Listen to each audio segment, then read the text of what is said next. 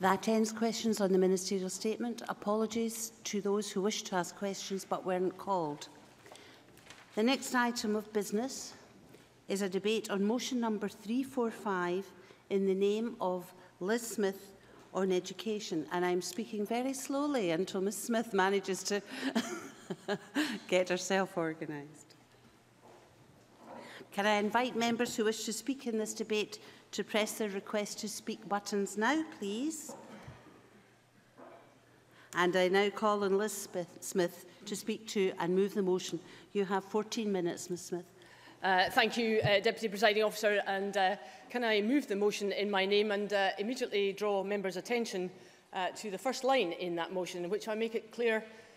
that this debate today is not about whether members support the Scottish Government's uh, policy uh, on named persons or oppose it, as the Conservatives do. Instead, it is about whether it is deliverable in the proposed format and most especially whether that format is in the best interests of children and families, because it is surely these best interests which should be at the forefront of all our minds. And I want to begin by going back to the time when this policy was first proposed and to the initial evidence to the Education Committee. As I understand it from that evidence and from Minister's statements at the time, it was seen as a policy that would enhance child protection by encouraging earlier intervention and by ensuring that there was greater cooperation and coordination between the different areas of children's services, as had been the case in the pilot in Highland. And I want to stress my recognition of the fact that there can be no doubt that amongst the 138 submissions to the committee at the time, which made specific mention of the name person policy, the vast majority, around 70%, which came from groups highly experienced, I may say, in dealing with our most vulnerable children, there was strong support for the policy, as indeed there was amongst the committee members, with the exception of myself. In recent weeks, I have reread many of these very supportive submissions, and I note again, just as I did three years ago, that this support was for the general principles of the policy but it was often qualified about concerns over caseload and an underfunding of resources. Just two examples at the time were the Royal College of Nursing and the EIS. And of course, it is also very fair to mention Bill Alexander, who has been a consistent advocate of the policy throughout, and a man who can speak with considerable experience in Highland. It is these concerns about caseloads and resources which, as we approach the full implementation of the policy, that have come to dominate the debate. And I think we have to accept, whether we are for or against the policy in principle, that these concerns are serious. Indeed, I have no doubt at all that it was these concerns which prompted both Kezia Dugdale and Willie Rennie to make plain during the election campaign that their respective parties were worried about the deliverance of the policy. On the back of growing public concern, which, to be fair, was recognised by Hugh Henry, Ken McIntosh and Tavish Scott in the last Parliament, and which we were all getting on the doorstep, Kezia Dugdale asked for a pause so that key issues could be rethought, and Willie Rennie also questioned the resources issue. So too did Ian Gray, who has been telling his constituents and the Cabinet Secretary that despite his support for the general principles of the policy, he remains concerned about its delivery. Indeed, even some SNP candidates in the election hustings questioned that too.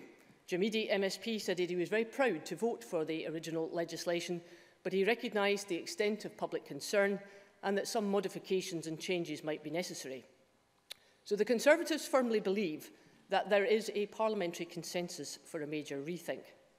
This is reflected in the public mood, which, as polling has shown, tells us that there is widespread concern about the policy's implementations. But it is what has happened since that is so significant. And that's the reason for the debate today. Because it is the growing number of concerns that are being expressed by professionals on the front line many of whom have no party political affiliation, or if they do, they represent the full political spectrum.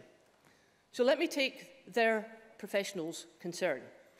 Firstly, there is the caseload burden, which has been brutally exposed by so many professionals in recent weeks and months, whether publicly in Unison's report from its members who are health visitors, whether in the EIS, in the SSTA, whose members requested a delay following the motion submitted to their conference by teacher Neil Sinclair, whether in the Royal College of Nursing or the social workers or in the BBC's Call K last week, or in so many cases more anonymously from frontline staff who are less prepared to put their name to anything because of fear of reprisals in their job. The, yes, of course. Mark MacDonald. I'm grateful to Liz Smith for giving way. She's mentioned the RCN now a number of times, and she will have seen the briefing issued last night by the RCN, which says that they are neither calling for this policy to be scrapped nor for it to be paused. Will she at least acknowledge that on the record today? Yes, I, I will, and I have done so already. But the RCN is on record also of saying that they want uh, to have greater resources and that many people inside the RCN who've come to see me privately are also concerned about the extent of the workload. So I think there is an issue there as well. Now, the paperwork that is attached to the name person policy is, by any reckoning, we all have to accept that, very substantial. That which accompanies the wheel of well-being and the original measuring of the Shinari indices, which divide into no fewer than 307 indicators of well-being, is quite frankly mind-blowing. So too is that which accompanies the 31 different categories of the My World uh, triangle, or the extraordinary guidance which describes the named person as the head gardener. It does not take much imagination to recognise what some of our already burdened health visitors, teachers and social workers feel about that. Now, the Scottish Government has said, to take up uh, the point, that it will provide 500 additional health visitors. But there are some who are still arguing that the caseload of that is significant and it will be very difficult for them to cope with all of that. John Swinney said two weeks ago that he wanted to reduce teachers' workloads. And there is one way to start by doing something about the burden of being a named person which, as Greg Dempster said when he was at the Education Committee, he feels that some of that paperwork is uh, such a growing responsibility that it's stopping some people, some people from applying for primary headships. And a comment that was made, if, if you just let me make a little bit of progress,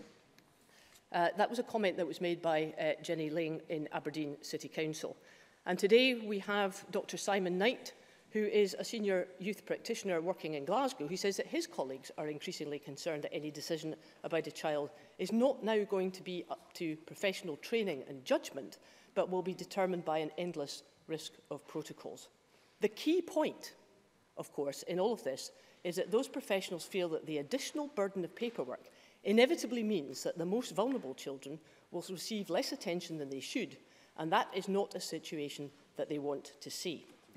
But there is a second area of disquiet amongst professionals, and that is about where responsibilities lie when it comes to the data sharing, and most especially when it comes to the transfer of confidential information about doctors and dentist patients. Medical ethics are, as we know, very strong and precise on that point. Experienced paediatrician Jenny Cunningham says that medics fully understand and recognise that they must on occasion share matters of child protection with social workers and police – But now that that duty is extended to include the sharing of information between agencies where it is felt that a child's well-being is at risk, something which he says is an ineluctably subjective judgment, is something that is inevitably going to undermine the trust between doctors and families. Yes, I will. Stuart Stevenson. Is the member aware on the 24th of March this year in the Public Bills Committee at Westminster But my colleague Joanna Cherry MP elicited that under the Investigatory Powers Bill, the UK Tory government will gather information on everybody in the UK's medical records and on children's activities by the passage of that bill that her political colleagues at Westminster trooped through the lobbies to support last night. Liz Smith. I, I think Mr Stevenson makes an interesting point, but can I say, can, can I say when it comes to the named person, and let, let, me, let me just develop this point. What is so uh, difficult about the named person legislation is this definition of the term uh, well-being.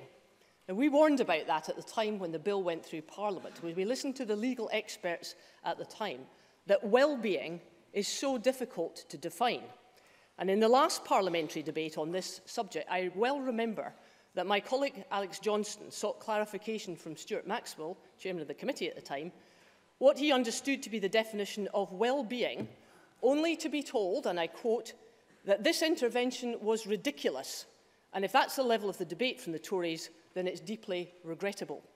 But, presiding officer, that was a very, I will in a minute, that, presiding officer, is a very serious question and it needs to be answered. Daniel Johnson. Presiding officer, it's very good to hear that the Conservatives are concerned about resources and about definitions, but I thought, and indeed Ruth Davidson in a recent article said that they were opposed to it in principle. This isn't a discussion that we're hearing from the Simon principle. What's changed? Are they against the principle or are they not? Liz no, Smith. nothing's changed. We remain completely opposed to this policy. But this, this debate, This, well, you can say all you like when it comes to this. Every single party in this chamber has issued, and it's, it's uh, in the um, amendments to our motion, every single party is acknowledging that our very serious concerns about this policy, and therefore there is a, another issue, and it's coming from the professionals who are being asked to deliver this policy on the ground. That is a separate issue. But we remain opposed and we will say so, and we always have done. There is no problem about that whatsoever.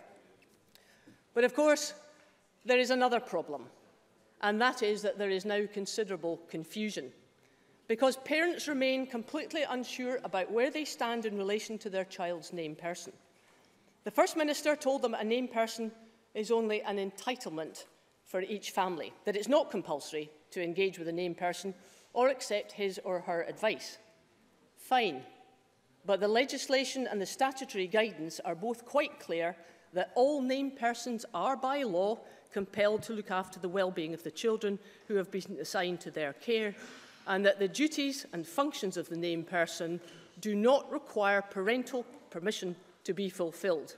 There is no opt-out if you are a named person, should, and therefore, should any risk be identified, These parents have to accept that the chain of paperwork will start for their child. That is, no, I won't if you don't mind. I want to, I, I want to make some progress. I've taken three interventions. The First Minister has confused the issue. On the one hand, she says that engagement with named persons is not compulsory, but our legislation is not designed accordingly. She tells us that named persons are not about child protection, but she defends the policy against her critics with that constantly in mind. So it's little wonder that parents and professionals are confused. And today, in John Swinney's amendment, we learn that the guidance is to be reviewed, which seems to be a recognition to our mind that the current guidance is not fit for purpose. And we know too that the EIS does not want its members to be named persons during the holidays, for which I have to say I have some sympathy.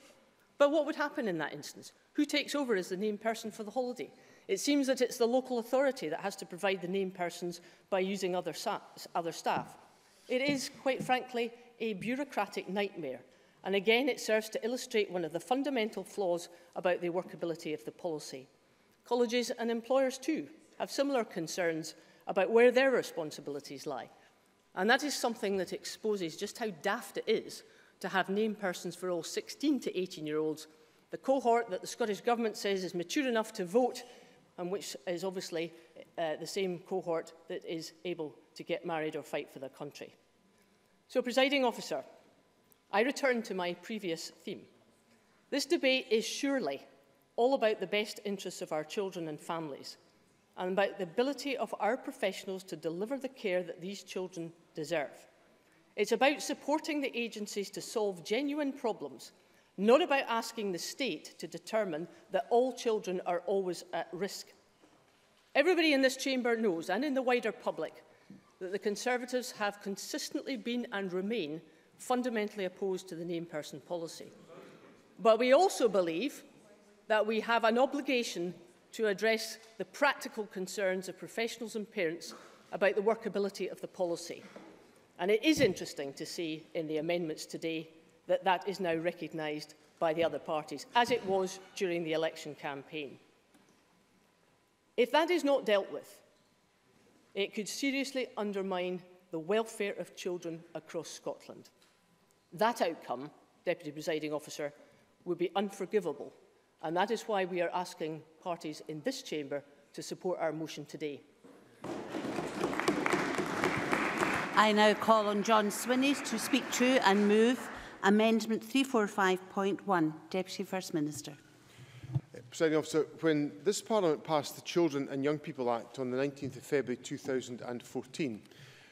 we recognised that a policy that had been developed and tested over many years across several administrations with cross-party support had reached a key milestone.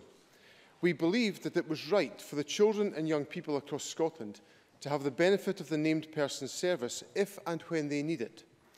It was a deliberate, well-debated step and not one taken lightly. It had been informed by expert opinion across Scotland. This is a policy that has long and passionately been supported by professionals and by our children's charities. This morning, the leaders of a broad range of organisations dedicated to supporting our children have made clear their firm and continued support for this policy. They wrote, we believe the named person provisions formalise the best practice of our education and health services, ensuring that every child, young person and their family has a primary point of contact available if and when they need it. It is a policy that protects vulnerable children and young people, taking a preventative early interventionist approach before any significant risk to their well-being escalate. To add to this endorsement, uh, the, uh, Theresa Fife of the Royal College of Nursing wrote on behalf of the health visiting profession Our position is clear. We fully support the named person role and believe its intention to promote, support and safeguard the well-being of children and young people in Scotland is the right approach. It is a, body poli a policy, presiding officer, that embodies the principles we share as fundamental to supporting the lives of children and young people.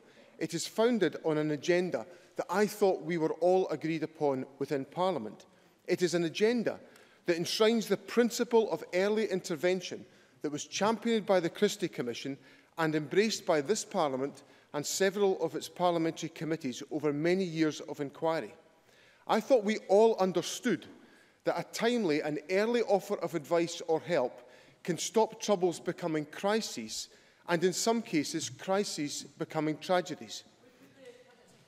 Uh, in, a, in a moment, as a single point of contact for families as well as for professionals, The named person can make that principle not just based but common practice. I'll give way to Liz. Liz Smith. I, I thank the Cabinet Secretary. Could he outline why he thinks there is so much opposition to this?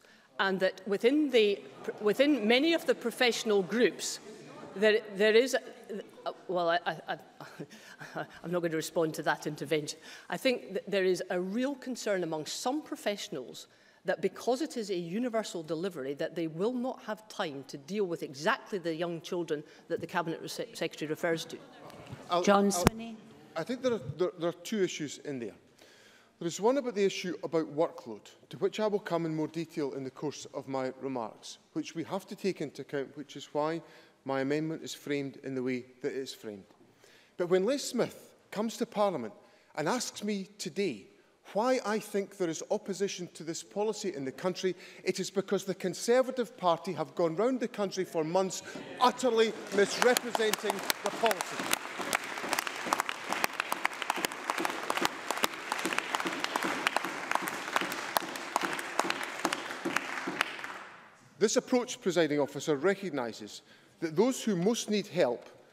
Those who can become the most vulnerable in society are not always the easiest to identify. Named persons are not there to act for those who do not need them, but for those who do, whenever they do, and for however long they do need them. Now, Liz Smith has just asked me the point about universalism. Some have argued that we do not need a universal named person service because most children and young people are unlikely to require them. But apply the same argument to access to a general practitioner or provision of a fire service, and the importance of universalism is clear.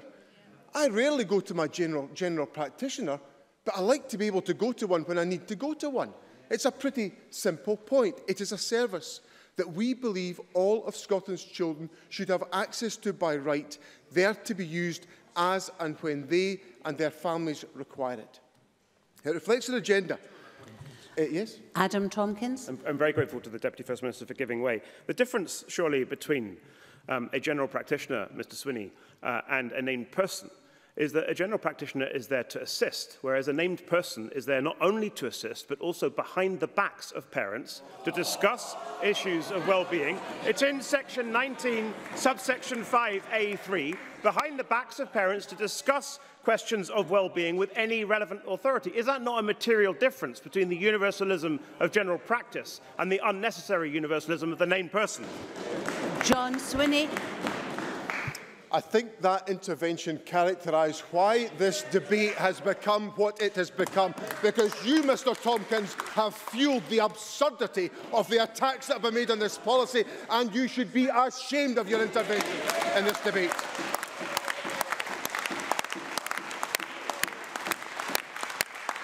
this, this policy, presiding officer, reflects an agenda that has taken notice of what has been said in just about every significant case review, fatal accident inquiry and review into the tragic circumstances of the deaths of children who have been the victim of abuse and neglect over the last few decades. It is not appropriate to judge whether a particular policy would or would not have made a difference in a particular tragedy. But when we look at the common thread Throughout so many of these deaths as are recorded in significant case reviews and fatal accident inquiries, time and time again reviews have pointed to professionals not sharing information that might have alerted people to something terrible happening. The named person can, and I believe will, help to ensure that the right information is shared at the right time in the right way. We also know that the policy of getting it right for every child works. It has been working in Highland since 2007. Through the named person role, professionals have responded promptly to requests for assistance, and families have received more support more quickly. Between 2007 and 2013, the number of referrals to the Children's Reporter in Highland dropped from 2,335 to 744. Over the same period, the number of children on the Child Protection Register in Highland fell from 130 to 80, and social work caseloads have been significantly reduced. These are the benefits that we want to bring to the whole of Scotland.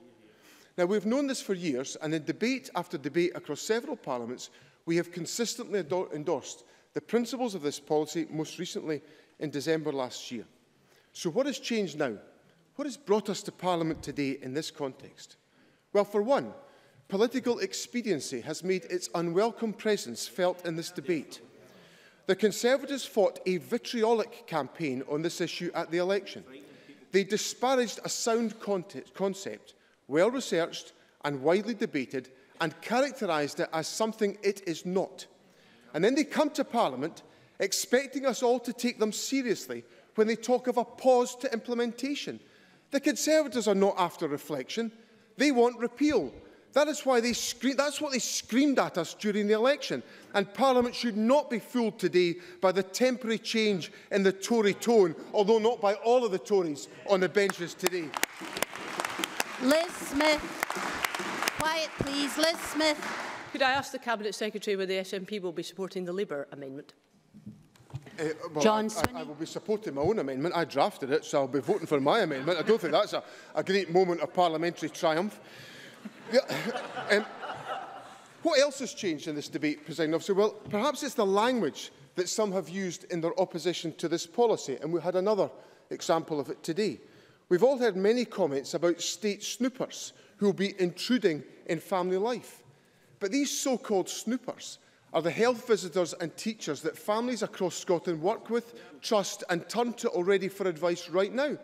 Such language insults the vital work that they do and make their work much more difficult. Now, I, I accept that the government now has work to do to build confidence in this policy, to ensure that the guidance is appropriate, that's why I've given a commitment to refresh the guidance, and to ensure that the public are fully and properly aware of the intentions behind this policy. We understand the challenges of communicating this change to the public, not least in a climate thick with misinformation and scaremongering. The public deserves a considered, transparent presentation of the facts around the named person, and I commit myself to deliver exactly that. Working with those who work with families and with parent groups, we will ensure that the public information is clear and timely. I accept more, no, more needs to be done by the government, which is why our amendment today signals the need to carry out this work. And I commit to Parliament working with the Minister for Childcare and Early Years, with other parties, with stakeholders And with public servants around the country, the government will do exactly that. I do not underestimate the task, but I'm equally proud of the huge progress that's been made right across Scotland to ensure that the duties will commence this August.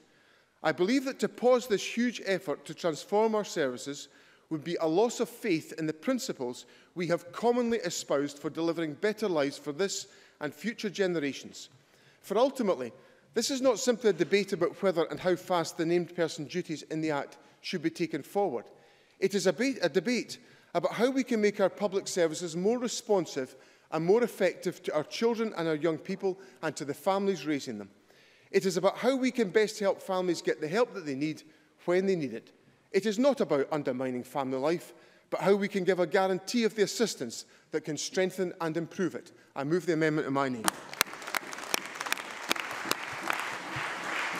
I now call Tavish Scott to speak to and move Amendment 345.1.1 to Amendment 345.1. Mr Scott.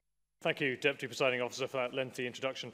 Um, this morning I read the papers on the name person policy, and I am at a loss to understand why a simple and sensible principle that parents and carers should have a single point of contact for children's services can be so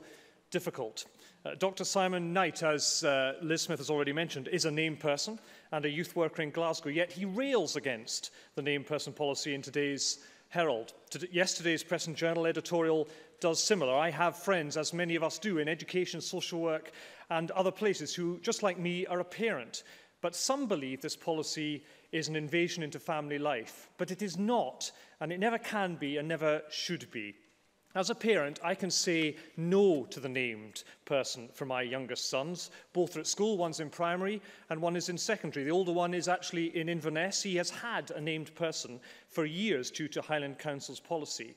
But I haven't been called in by his named person, and if I was, and it was a matter that I and my son's mother judged to be something that was for us to resolve, that is what would have happened.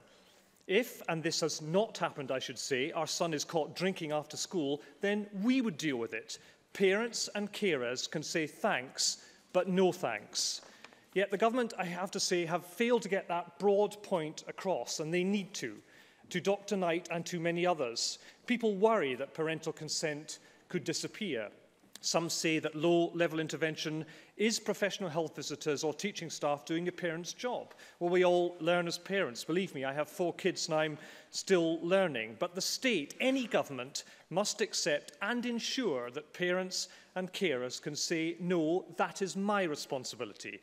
Now, the obvious threshold is child protection, threats to a child's welfare or indeed physical harm. It is where a child or a young person is in danger, is at risk. Following last week's High Court ruling, there can be no MSP who could stop a named person pressing every emergency button and taking action. There are clear and very well understood circumstances where police, social workers and others do get involved and indeed must get involved. I have listened to more than one First Minister explain how a government will inquire and review when a child has been murdered in the most horrific of circumstances. But some of me also reflects the real challenge of child protection is helping at risk children in catastrophic family circumstances, families who can be skilled and manipulative with agencies and can hide abuse. That is where the name person system must simply work. Uh, last week I met the uh, area police commander at home in Shetland. We talked about this and about child protection. At home there is a weekly case conference. All the agencies are present. Any child or young person who is at risk is discussed. Parents and carers will of course be involved. The aim is to stop an initial problem escalating. Childcare services, numerous agencies and the NHS can and are a maze for parents and carers. So an effective approach, a single point of contact that helps parents establish who to speak with about their son or daughter is right. That must be a simple process designed to help. But there are concerns about the named persons pr proposal and policy. People want to know this will work properly and that there are safeguards, and my amendment reflects that in Parliament this afternoon. Firstly, there must be adequate resources. Adequate training is needed. This policy asks the named person not to simply judge a child or young person on the basis of risk, but on the assessment of well-being. Now, we ask much of our teachers, health visitors and others these days. our named persons receiving adequate training to cope with the 200 separate risk indicators that are the basis of well-being? Do teachers know that well, that well, can I finish this point? Do teachers know that well-being is rather than just, rather that than just teaching geography or physics? Can schools provide the professional development that this, this policy needs to do to, in order to work? And that's uh, observations that I hope the Cabinet Secretary will be prepared to take forward.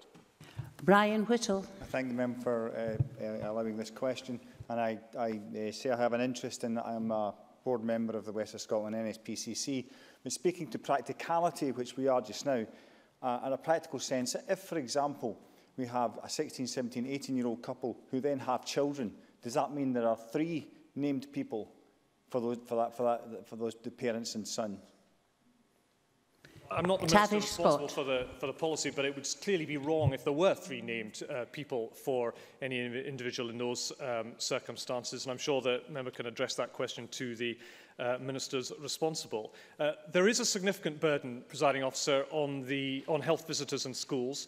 I believe the government need to reflect on the sheer scale of what they are already asking overworked people to do. In a large secondary school, after all, uh, deputy head or pupil support teachers will be the named person for hundreds of pupils. Most pupils, as uh, a number of members have already said, will not uh, need that or indeed any attention, but some will. So does having those risk indicators and the scale they are help, and I want the government to reflect on that. Secondly, on money, my amendment reflects the fact that many public bodies do have concerns about the cost of the policy. This was reflected when the bill passed uh, some time uh, back and in the Finance Committee's observation on the bill. And a number of organisations have highlighted the need for adequate resources. I trust the government now accept that. It is why Parliament expects the Cabinet Secretary to set out what the implementation and the ongoing costs are and how, indeed, they are going to be met. Thirdly, parents and carers should have the right to request a change of a named person. The Cabinet Secretary's amendment cites many charities and organisations in favour of the policy, but that, I recall, is qualified by a strong desire about parents and carers' rights too. And one of those should be to ask a head teacher or the local NHS to change the name person of their child. Now, that, of course, should be based on a reasonable reason, a reasonable request. But I do ask the government to introduce and highlight that flexibility. We should be honest about this. Professionals can throw their weight around. I will not be the only constituency MSP who has had to weigh up conflicting advice from professional staff on one hand and a parent's perspective on another. So the government needs to introduce independent scrutiny to go hand in hand with the right of a mum or dad to change that name person. A check and balance is right in every system, and particularly here. People get it wrong, and sometimes rather than admit that, they cover it up, and all the agencies pull together rather than accept a mistake was made. We all have constituency cases where that's happened. So this needs to work both ways, presiding officer. parents can find that the response to their concern is inadequate or indeed ignored. They must want action and help. So this appeal is not just about guarding against interference in a child's life that crosses a line into parental responsibility. It's about the cases where professionals don't have time to choose or to make the difference that that needs to be made. Let me finish with this observation that those building blocks are important, I believe, for the government in resetting this, yes, important policy a single point of contact, but with checks and balances that ensures and enshrines the responsibilities of parents and carers too. I now call Ian Gray to speak to and move Amendment 345.2. Seven minutes, Mr Gray. Thank you, uh, Presiding Officer. I rise to move the amendment in my name. Uh, Scottish Labour did support the principle of the named person scheme when it was legislated for. And we continue to believe that implemented properly and proportionately, it can improve support and services for children and parents in general, and child welfare and protection in particular. Surely the best place to look for evidence of that is, of course, where the scheme was first developed, first implemented, and has been longest in place, and that is in the Highlands and Islands. In recent days, with attention focused on named person once again alongside or sometimes because of the tragic case of Liam Fee. Uh, those in Highland who know and understand the scheme best have spoken out very clearly. I heard, for example, Bill Alexander, Director of Care and Learning for that authority, explain very patiently and eloquently on the radio the benefits he had seen. The most important ones were twofold. Firstly, he was very clear that it has given his staff more confidence and clarity about their own responsibilities and accountability. That has reduced bureaucracy, speeded up access to services for children and families, and reduced the escalation of problems in many cases. In particular, he makes the point that it has reduced ad hoc and unnecessary referrals to the children's reporter as a default option for staff involved. In other words, it has reduced unnecessary and inappropriately intrusive measures not in fact the reverse. And secondly, and critically, this has reduced, not swamped, the caseload of social workers, allowing them to focus more time on the most serious cases which do require significant intervention. And let's not forget that when the system goes catastrophically wrong, it is the lack of intervention we end up regretting, not the intrusion.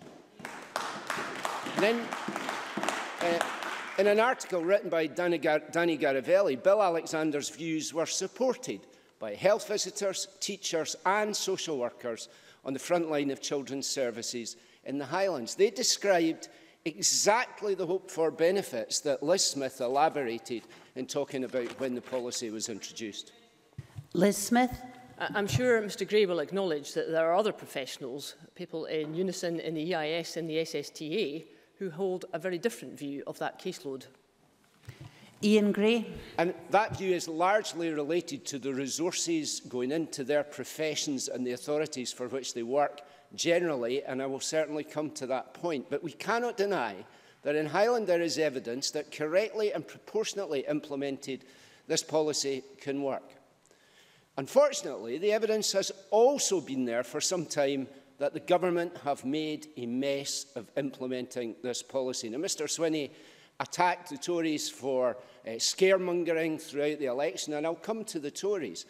But the SNP must take some responsibility too, because for months, wild and willful distortions of what this policy would mean were allowed to run unchallenged and unchecked. Government officials produced guidance and training which on occasion fueled those stories rather than debunk them. And meanwhile, a budget which cut £500 million from local authorities and squeezed NHS budgets has left professionals involved questioning whether they have the resources to make this or indeed any service work, even where they support the principle. And that is why we suggested a pause, a review of the guidance and implementation, and a commitment to adequate resourcing.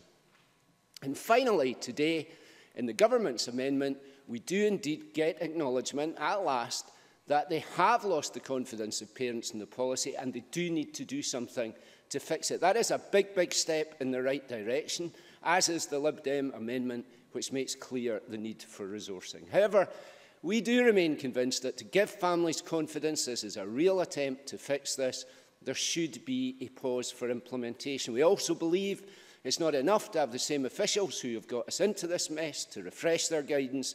Some kind of external review is necessary. We've suggested the Children's Commissioner. There may be other possibilities. Sure. Mark MacDonald. And Ian Gray will be aware that the Children's Commissioner was explicitly asked about this during the election campaign and said he did not agree that there needed to be a pause to review uh, ahead of implementation. Does he not take that on board when he is making that suggestion?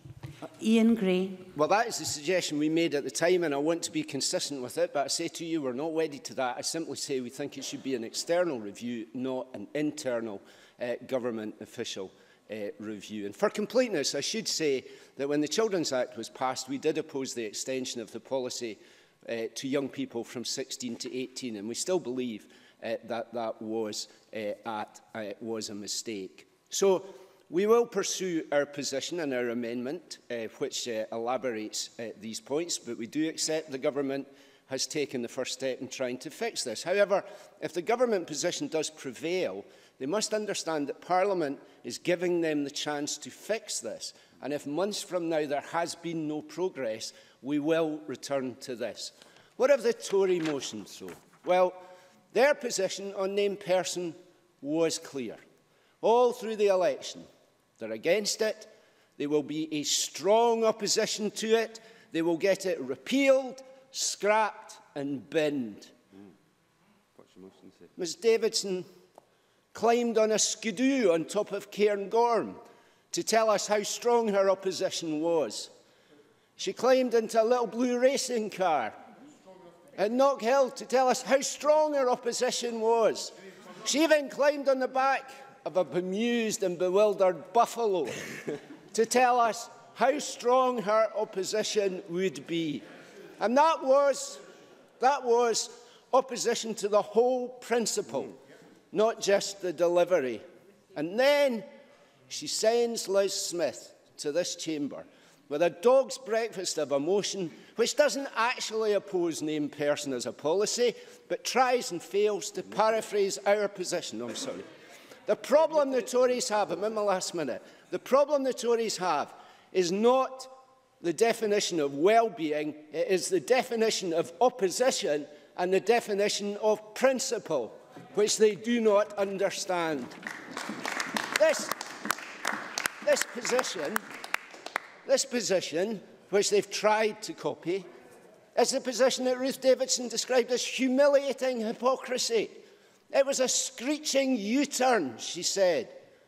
Well, presiding officer, humili humiliating hypocrisy is turning up with a motion which hides your real purpose yeah. behind a pause with no purpose except to allow more debates and presumably more Tory press releases that say something different out there compared to what they say in here in the debate. That's not strong opposition. It is the weakest of opportunism. We don't want a pause to debate this policy.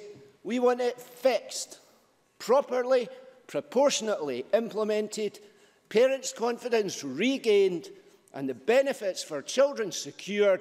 That is what our amendment calls for. I move. We now move to, to open speeches and speeches of absolutely no, no more than six minutes, please. We're quite tight for time. And I call on George Adam to be followed by Douglas Ross. Again, we're here to discuss the Tory obsession with the named person uh, scheme. And Liz Smith, no matter how she tries to re redress it or change anything in her policy, the Tories are currently in a very bad place with this actual debate. Because I feel we've had this debate in numerous uh, times with the Conservative debates in the last session and during the Children and Young People's Bill uh, that we went through uh, in the last session as well.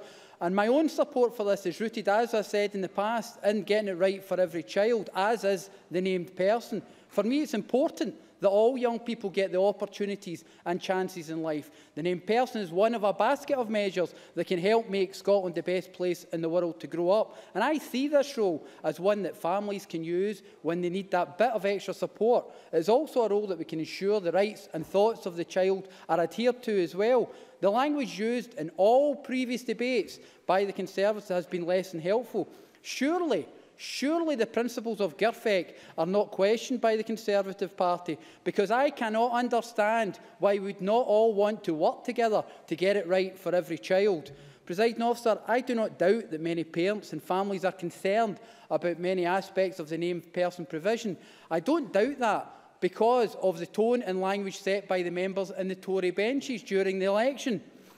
Apart from their tone being all wrong, it is also the exact opposite of those working in the children's sector. Yes, I will do. Liz Smith. If he could cite any aspects of what I said in my opening speech uh, that is inflammatory or in any way that is not looking at the common sense of this policy. Ms. George Smith, Adam. Ms Smith, you make my point perfectly. Today, you have not said that, but you've incited almost riotously outside of this place to actually discuss that as well. So a letter, a letter, people in the sector, children's charities, including Aberlour, Bernardo's, NSPCC, as well as groups representing teachers, social workers and nurses, urged the Supreme Court. They said the campaign against the named person provision of the Children and Young People Scotland Act has sought to portray the policy as a state guardian for every child, a material erosion of family privacy. This is simply not the case. The introduction of the named person was a direct policy response to requests from parents for a simplified approach to accessing support, accessing support when they need it. That is coming from the professionals, people involved. Ms uh, Smith actually mentioned uh, people involved working in the children's sector. These are people in the sector and what they actually believe. And it's important that we discuss what the named person provision actually does. and how the named person would interact with a family. As I've said many times before, and the Deputy First Minister said so here today as well, I see this provision, this provision like that of a GV. When you need to consult with the GP, you use them. When you don't, you don't have to use the service. And with that thought in mind, how can some argue that this is taking valuable resource away from those that need it? That is clearly not the case. When support is needed, The named person will engage with a family, child or young person. The outcomes from the engagement can take the form of advice that parents can choose to take or not. In most cases, I do not see this as a problem. But this is how we should be discussing this matter. This is how we should discuss the named person provision with the public. Parents need to know what exactly this scheme has to offer, what parents grandparents, of which I am one, and families don't need, as the hype, hyperbole of certain members of this chamber, we need to be responsible and we must work together to make Scotland that country that is the best for children to grow up. It is a role of child protection that I believe the named person provision is of most use. There appears to be a common theme in many cases of abuse and death of young children. There tends to be a point in the timeline that if someone had intervened or shared information at the correct time, tragedy could have been averted. It would equally be wrong for me that this provision alone would be able to save every child's life, because life is never that simple, presiding officer. Unfortunately, bad people will continue to do bad things. But what we have to do to ensure is that support mechanisms are there to protect all our children. The named person uh, provision can help with this. The named person will ensure children and families can access help and advice if they need it at the right time wherever they live in Scotland. In line with the current approach of a school head or guidance teacher, the named person will offer advice or assistance. Daniel Johnson. I think George Adam is quite right that, that this boils down to the interactions and how they take place. Would uh, the member agree that work does need to be done so that, that parents can have confidence and trust and the way that those interactions will take place with the named person. George Adam. I think the member makes a valid point, and I think part of the reason is we have to go out there and ensure that the, the parents understand exactly what this is. It's not helped by the Conservatives on the other end using the terms and tone that they do, and that's part of the problem, which I've already stated. During the evidence sessions for the Children and Young People's Bill I was on the uh, uh Education Committee the last time, Bill Alexander from Highland Council actually said the named person scheme works for those children and families who wish to seek support support. That is why it's effective. Unfortunately, there are some families who do not seek that support.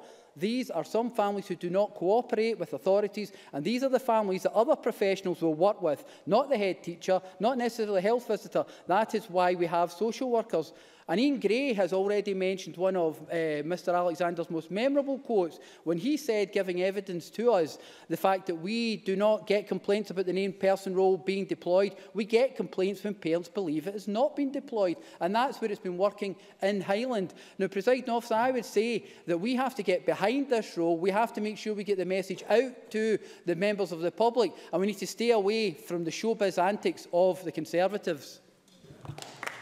Douglas Ross, to be followed by Jenny Gilruth.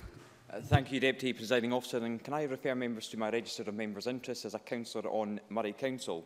Today's motion in Liz Smith's name calls for a pause ahead of the full implementation of the scheme in August. And I want to dwell a moment on that date of August. Um, we are just a few short weeks away of this national rollout of a scheme across Scotland.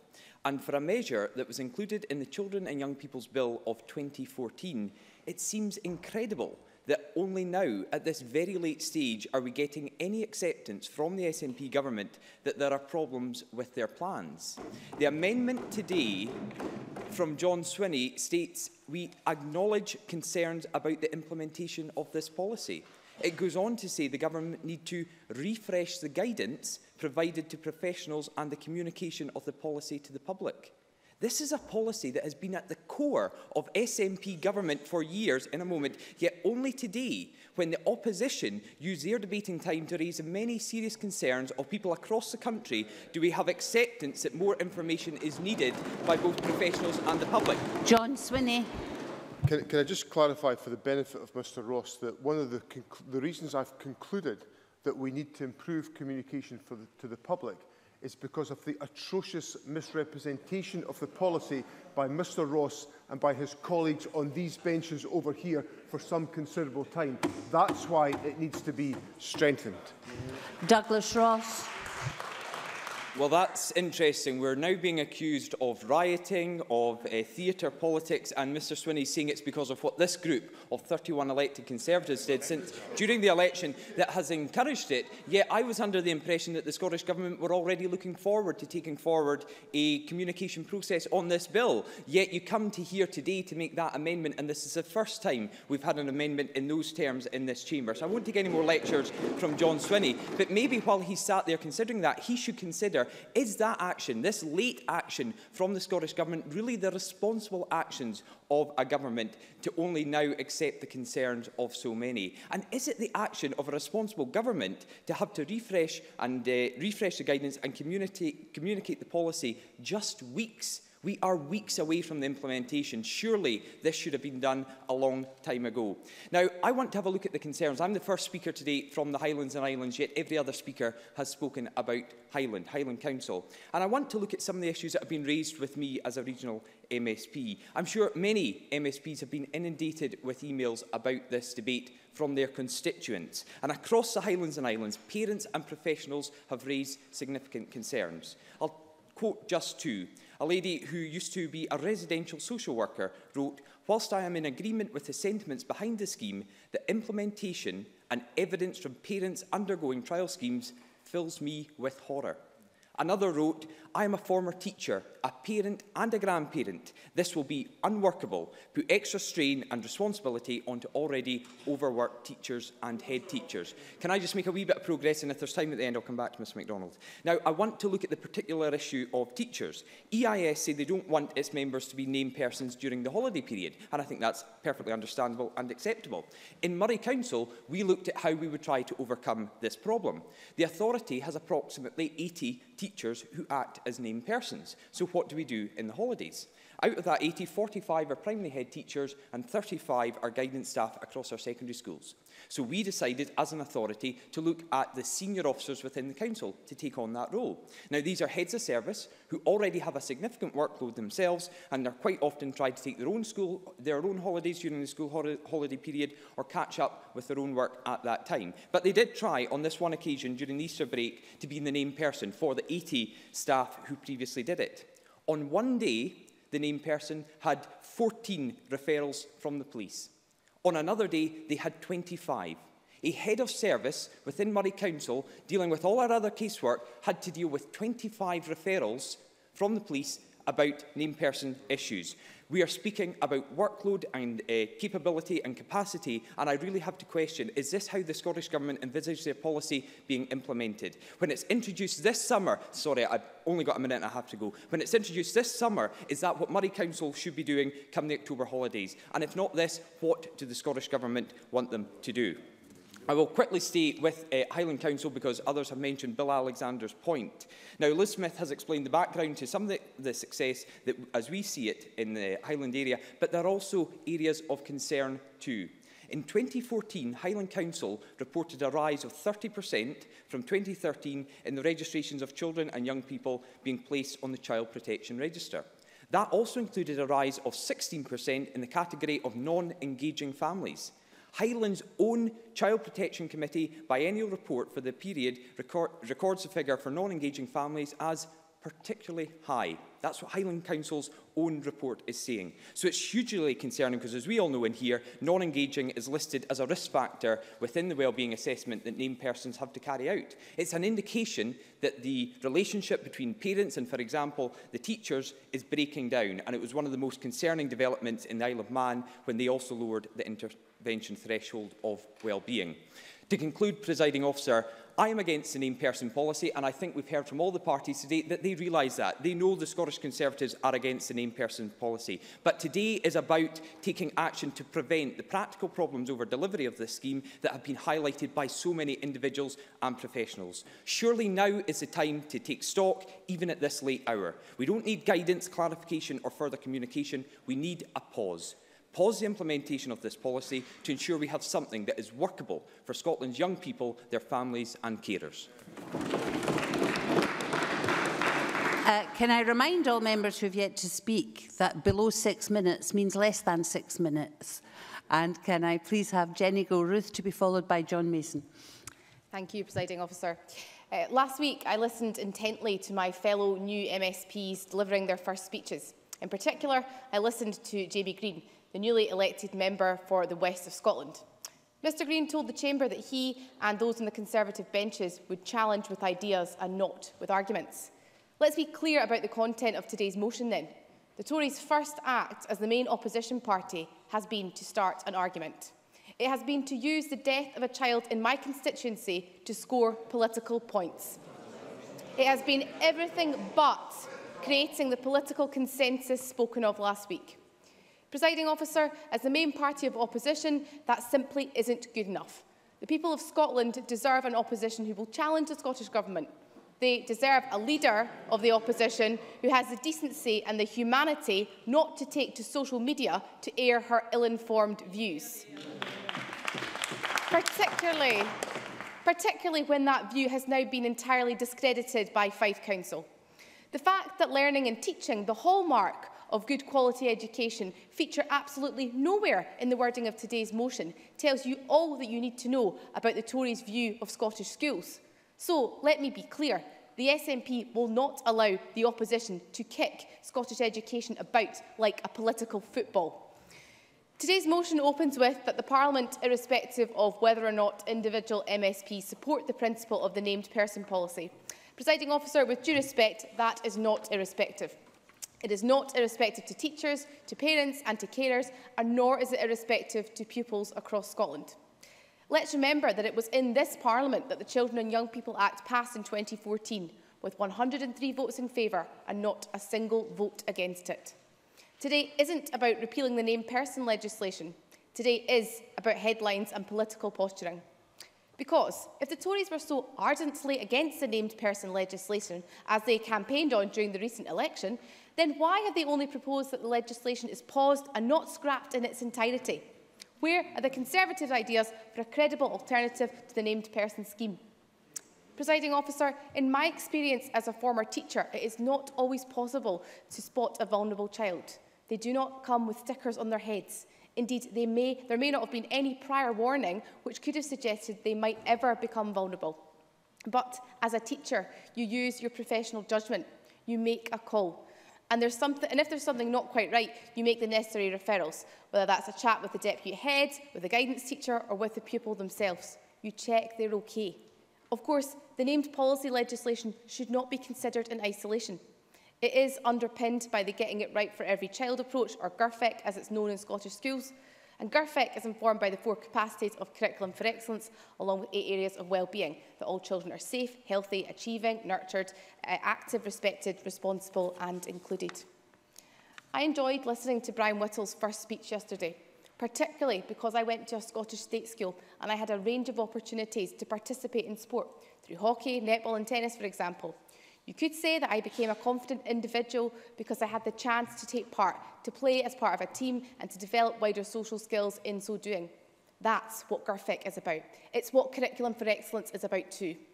Ensuring that every child has the opportunities to succeed in life and that there is not, as Mr Whittle said yesterday, an inequality of opportunity. GERFIC pulls together schools, social work, the police and the voluntary sector, and fundamentally it puts the child at the centre of this partnership working. And we know there needs to be a safety net in place because, as I have previously stated, there is no way to predict when a child is going to become vulnerable. Presiding officer, most of my friends who aren't politicians are teachers. They are hard-working individuals. They are committed professionals. They work for the best of the pupils in their care. I, like modern studies colleagues the length of this country, used to show my class clips of this chamber regularly. The opposition have a duty of care to ensure that the language they use about our education system is not that of derision. It is not that which talks our teachers down. It is not that which deliberately creates doubt and mistrust in our schools. Tomorrow night, the state school in which I taught for three years will be taking part in the Donald Dewar Memorial fi uh, Debating Final in this very chamber. They've been supported by my former colleague who runs the school's debating club. She does this in her own time. There is no financial reward for her so doing. And does her professional commitment mean that pupils have better opportunities to achieve? Absolutely. And in so doing, is she playing a pivotal role in closing the attainment gap in that school? I would strongly argue that yes, she is. Presiding officer, my point is this. There has to be a level of goodwill in education to make the system work. to get the best teachers who will work hard and allow every child to reach their potential. The named person legislation has been seized upon by the opposition as their first opportunity to challenge the SNP. It has been used quite disgracefully in the wake of a wee boy's death to score political points.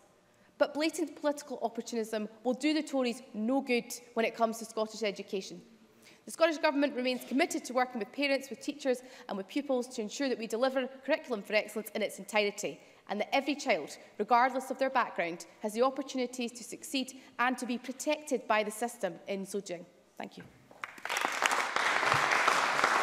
John Mason to be followed by Monica Lennon. Uh, thank you very much, Presiding Officer. And I was keen to speak today on the issue of the named person, as there has clearly been a certain amount of confusion and, in my opinion, misinformation, if not mischief-making, uh, round about it. Now, if I'm understanding the situation correctly, there are two broad roles for a named person. The first role is a more reactive one, where a child or family is looking for help and the named person is required to provide that help, or at least point them in the right direction to get it. Of course, it is not compulsory for any individual or family to seek such help. Now, when it comes to seeking help, I do think that some families are more likely to need an improved system than others. Some parents are very confident about dealing with teachers, GPs and other professionals.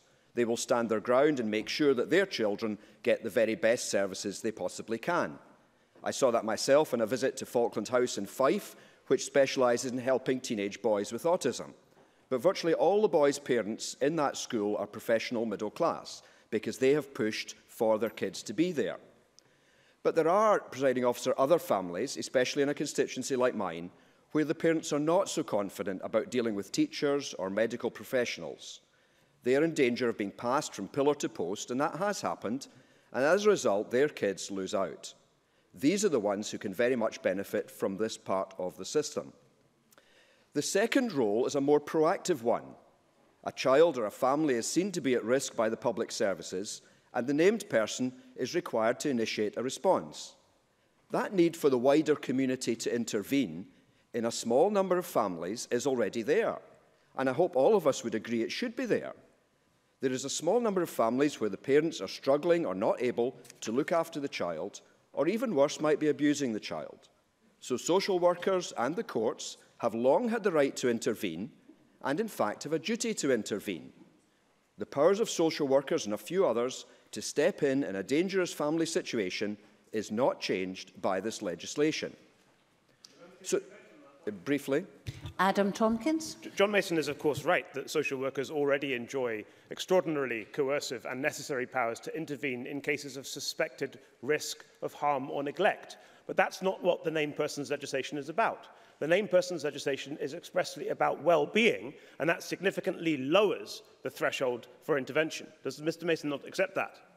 Well, Mason. The answer to that is not to wait until we get the legislation absolutely perfect, because I don't think we'd do any legislation if we waited and waited. The answer to that is let's put it into practice, let's see how it works out, and there will be things along the way that need to be reviewed and improved, and let's do it at that stage. But the change now is really just that there should be better coordination among public services, and we should try to pick up problems at an earlier stage. And as far as I'm concerned, this is a minor tweaking of the present system. Now, I would like to touch on the issue of faith. In particular, from a faith perspective, it has been suggested that this scheme in some way goes against Christian faith, perhaps because families are the key building blocks in society and we should not be interfering with or undermining them. The reality is that there is no one Christian view on this topic. And as I go around various churches, I have met people with a very strong Christian commitment, especially teachers and social workers, who are strongly in favour of the named person scheme, and many are puzzled why Christian groups would oppose child protection. Now, one of the main organisations behind No to Named Person is the Christian Institute. They do a lot of good research, and I've worked closely with them in the past on a variety of issues. However, on this issue, I consider they are scaremongering, or at very least making a mountain out of a molehill. They are not representing biblical or traditional church teaching in the kinds of evangelical, Catholic, or other churches which I am familiar with. There are a number of parts of Christian teaching which teach on the importance of children, families, and vulnerable people in general. For example, the Gospels and the Acts lay great stress on this. The family is very important in Christian teaching, but it's certainly not sacrosanct. And the Bible is very open and it gives examples of families going seriously wrong. In the very first family we have in the Bible, Cain murdered his brother Abel. Joseph's brothers sold him as a slave into Egypt. And Jesus himself suggested that families would be split, with some members following him and some not. Jesus said that his closest ties were with those who believed in him rather than with those who were his own flesh and blood. So let us not have some romantic or idealized view of family life with the suggestion from some, like the Christian Institute, that we as the wider community should never get involved. Most families do work their way through difficult problems, but some families are struggling with financial and other issues and do need help and support from the wider community. And there are a tiny number where real abuse is going on within the family, and we as a Parliament and representatives of Scottish society have a responsibility to make the present system work better. The conservative idea of less government, so leaving individuals and families to their own devices, too often leads on to the law of the jungle, where the strong win and the weak lose out, and that is not the kind of society I want to see in Scotland. Of course, any legislation can be improved on as it settles down, and as we see things happening that were not expected. So I fully support a review of this and all legislation, in fact, after a few years.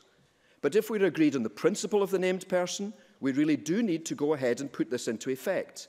As I said, if we sat and waited until every piece of legislation was perfect, we would never do anything. So please let us put the well-being of children ahead of imagined fears and let us support the named person. Thank you. No? that would be a no, then. Monica Lennon, uh, to be followed by Oliver Mundell. Thank you, Deputy Presiding Officer. I think it's my turn. Um, few things are more important than the well-being and welfare of children and young people. Our collective approach to this debate should be robust, yes, but it must be responsible. There is no place for spin and speculation when it comes to the safety of children.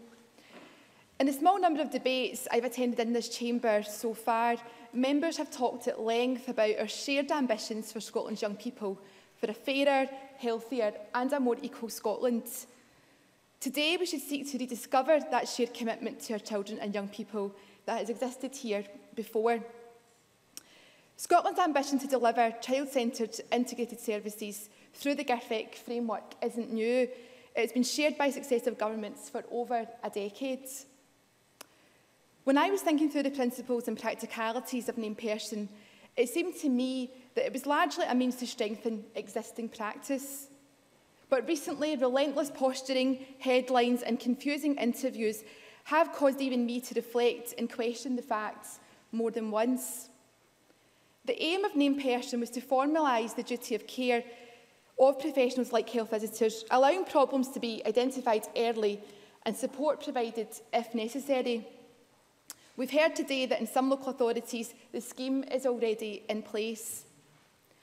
Named person provision has the potential to play a key role in bringing about the shift towards preventative and early intervention practice and a culture which supports children's well-being and gives them the best protection from harm. If implemented correctly, it should reduce, reduce the risk of the needs of vulnerable people being overlooked and will provide a single focal point for children and families seeking support. It is no surprise that named person provision received widespread support from the children's sector when the Children and Young People Bill came before Parliament. Scottish Labour supported the principle then, as we do now, as a protection for children who need it and a means to provide families with additional help if required. Looking back through the record, I found that the Tories led an earlier debate on the in person back in September 2013. Throughout that debate, Scottish Labour members voiced concerns that the Scottish Government at that point was failing to accurately define the role of an named person and lay out exactly how the policy would be financed and resourced.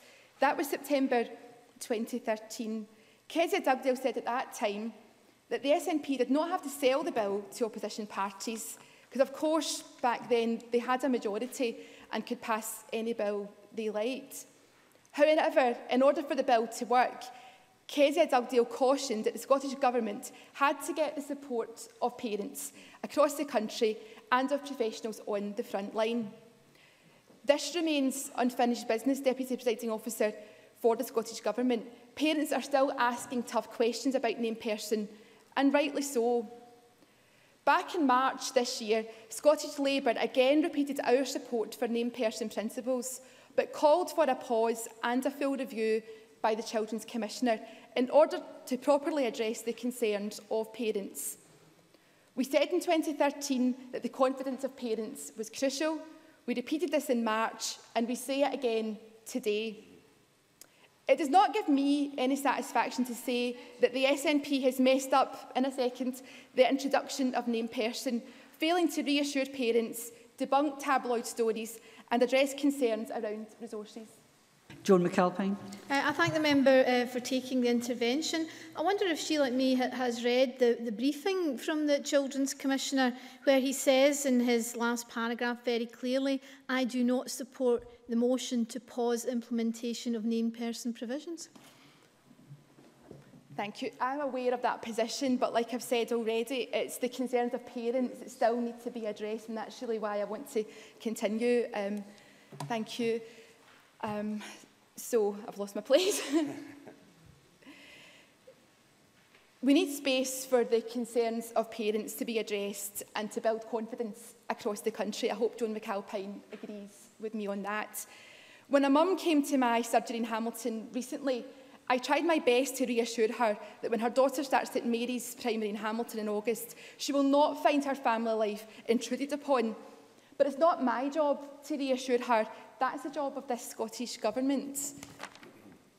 It's simply not good enough for children and young people across Scotland that too many of the people who have their, be their best interests at heart have genuine doubts about the rollout of named person.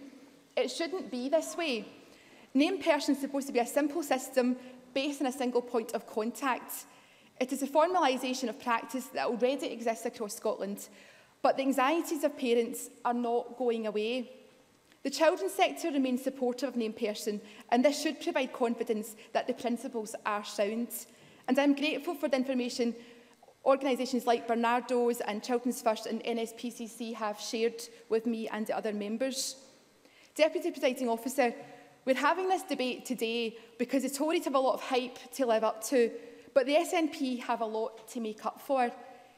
The amendment tabled by Scottish Labour to pause and review is, I hope, a constructive one and does provide a remedy. Irrespective of what's been said before, we all have a duty to serve the best interests of our constituents. I hope we'll move forward towards achieving the right measures and outcomes for every child and young person in Scotland. Thank you. Thank you, Ms Lynn. I call Oliver Mundell to be followed by Stuart McMillan. Mr Mundell, this is your first speech, I take it. Yes. Uh, thank you, Deputy Presiding Officer. It's a great privilege not just to make this maiden speech, but to do so as the first Conservative to represent the Dumfriesshire constituency in this place. Perhaps strangely, I was both delighted and sorry to win what was Labour's safest seat in Scotland. Delighted for my party's stalwarts past and present, who kept going even in the darkest of days, but also sorry to bring to an end Elaine Murray's 17 years of dedicated and attentive representation for our area here at Holyrood. Of course, I owe much to a certain Member of Parliament who, in his own way, has set the ultimate example of public service and whose reputation for community commitment and whose willingness to take on his own party in the pursuit of the needs of his constituents still defines the politics of the communities I now represent.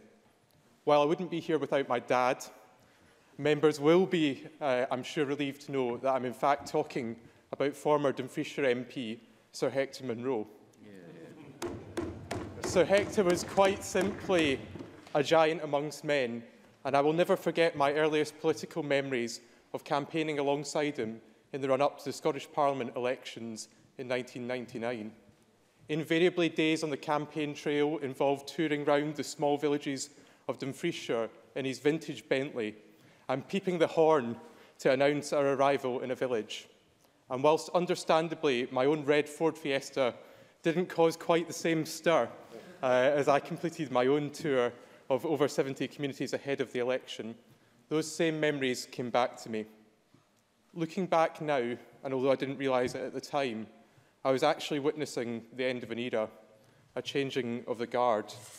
Because just a few short months later, I would sit in the public gallery and watched the opening ceremony of the new Scottish Parliament. Indeed, I can still hear the words of Donald Dewar echo in my ears, and the iconic tones of Sheena Wellington still cause the hairs on the back of my neck to rise. Why do I mention all of this?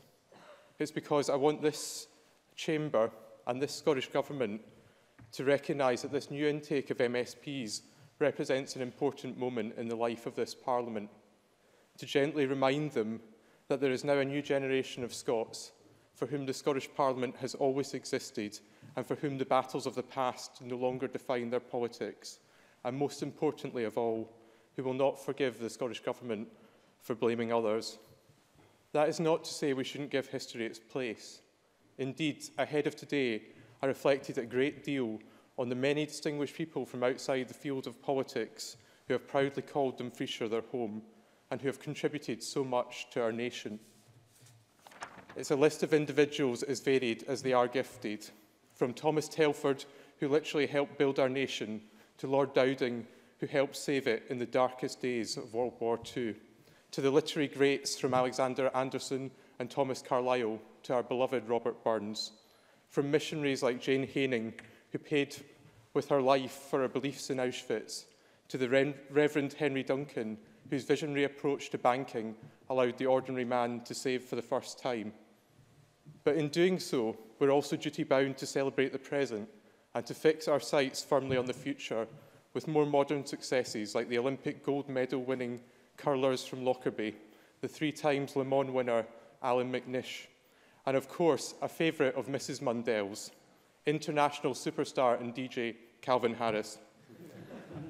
For me, our greatest asset in Dumfriesshire will always be our people and the sense of community that binds us together. And while we may have led the way from disco to defence and from engineering to banking, Dumfriesshire is at its heart, most of all, a place of quiet determination, a corner of Scotland where community and family still matter far more than government, a place where for hundreds of years, across the generations, we've been self-reliant and resilient because we've had to be. Indeed, very little has changed since the creation of this Parliament, partly because we haven't shouted loud enough, and in no small part because the Scottish Government refuses to listen. Hopefully, across the next five years, we can do something about that and make a change together. And as I turn now to the matter in hand, I say to all of those on the SNP benches, there is no time quite like the present. Indeed, today's debate perfectly captures a government out of step with the people, whose policy priorities have been lost in the crossfire of the debate, whose determination to save face has seen legitimate criticism fall on deaf ears. Even the most ardent supporter of the named person legislation must now recognise that the measure does not command the confidence of all parents and professionals in Scotland. I've never heard as much talk of compromise and consensus as I have in this place in the last month. We have a minority government, and it's in that spirit I ask the Deputy First Minister not to look to the left or to look to the right, but to hit the pause button and look at the growing body of evidence in front of him. And across the next five years, I'll no doubt stand up many times and criticise the Scottish Government for inaction. But today I end with a more quiet and considered request that the Cabinet Secretary and his team consider the possibility, just the possibility, that hasty action may do more harm than good in this case. Thank you.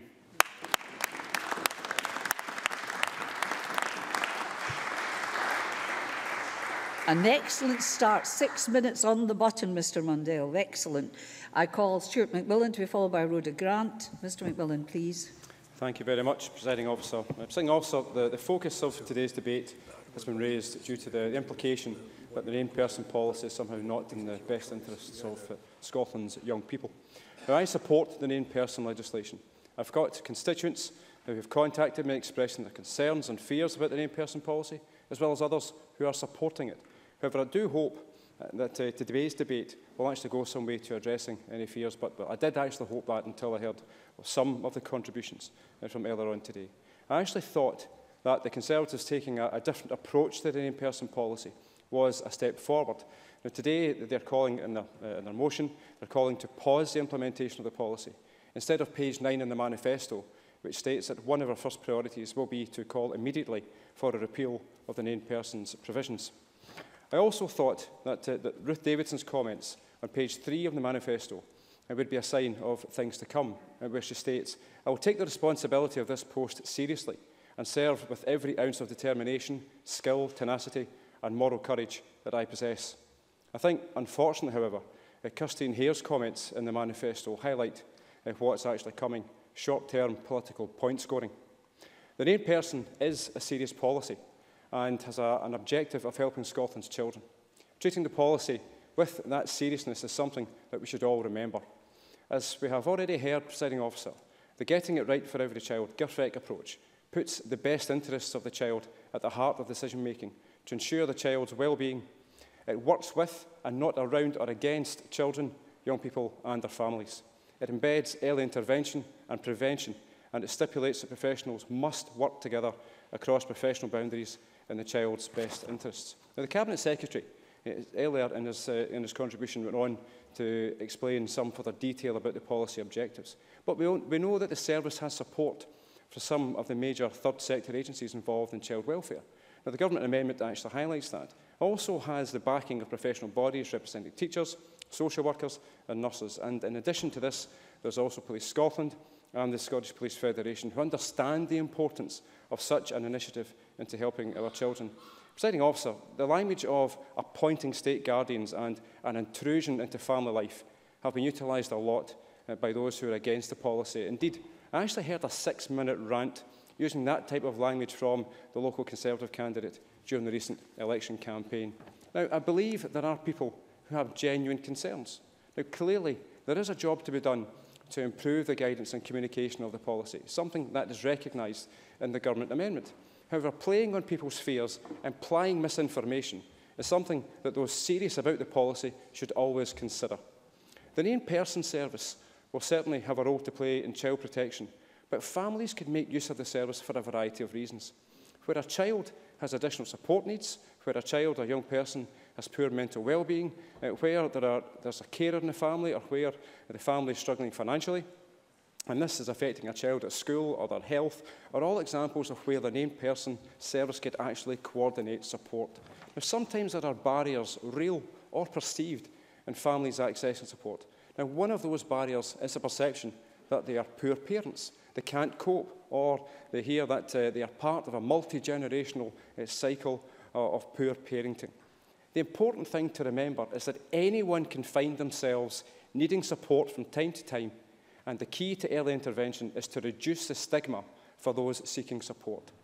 It's important to highlight that the vast majority of children will have no contact with their named person and their named person capacity, or in their named person capacity. The vast majority of children are safe, healthy, achieving and leading active lives with loving, supporting families and don't need additional support outside of the universal healthcare and school services. The named person service will not change this. In the vast majority of cases, Health visitors and teachers will have no additional workload for the same reason. The named person simply puts into statute the work that these professionals already do on a daily basis by recording information and sharing information appropriately with other professionals to ensure the best action outcomes for the child. And as the First Minister reiterated recently, there is no obligation for families to make use of the named person service or to engage if they feel it's not in their interests to do so. Critics have also said there is no opt-out in the legislation. This is misleading. The legislation requires public bodies to set up the named person service. There is no legislative requirement for families to engage and no need for a formal opt-out. Organisations and parents back it because they know that the named person does not replace parents or professionals.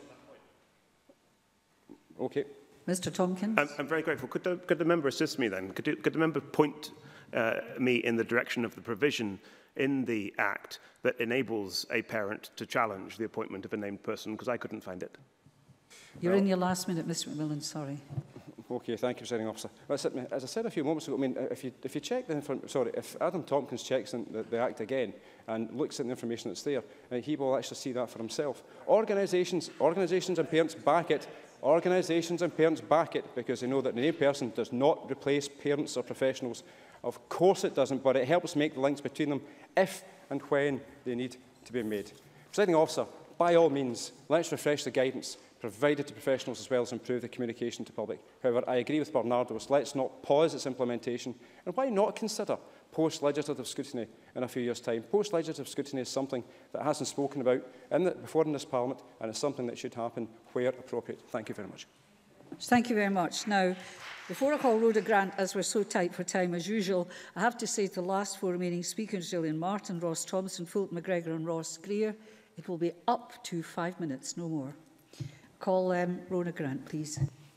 Thank you, Presiding Officer. Um, when the proposals came forward to roll out the name person policy devised in the Highlands, I was supportive. It could only be a good thing. We need to protect young people and give them a good start in life. There's a tragic list of young lives that have been lost. Each of those losses is followed by an inquiry and then subject, uh, subsequent changes to child protection. And these were the circumstances that instigated the named person policy. Danielle Reid was murdered in Inverness in 2003. She was not on an at-risk register. After her murder, it became clear that a number of people were uneasy about the circumstances she was living in – None of them individually thought she was in danger. Their concerns were not serious enough to phone the police or indeed social work. They were simply concerns. But when all those concerns were heard together, they looked very different. Collectively, they would have instigated child protection procedures. How then do you put in place checks and balances to protect children in those circumstances?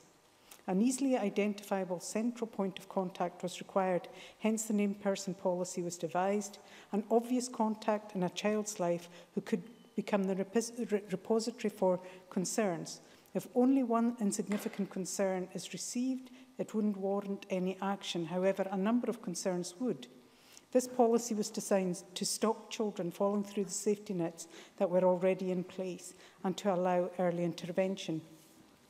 However, child protection processes would remain in place for serious concerns or where a collection of concerns flagged up a worrying pattern of behaviour.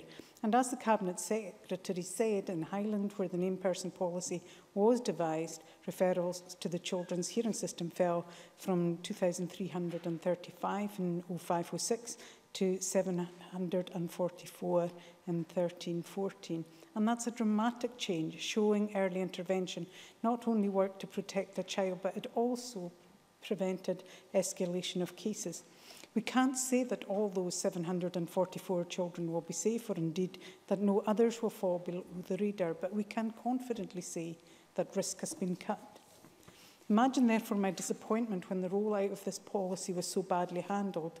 For it to work, it needs the confidence of parents, family, neighbours and professionals, and the SNP government has managed to alienate most of them.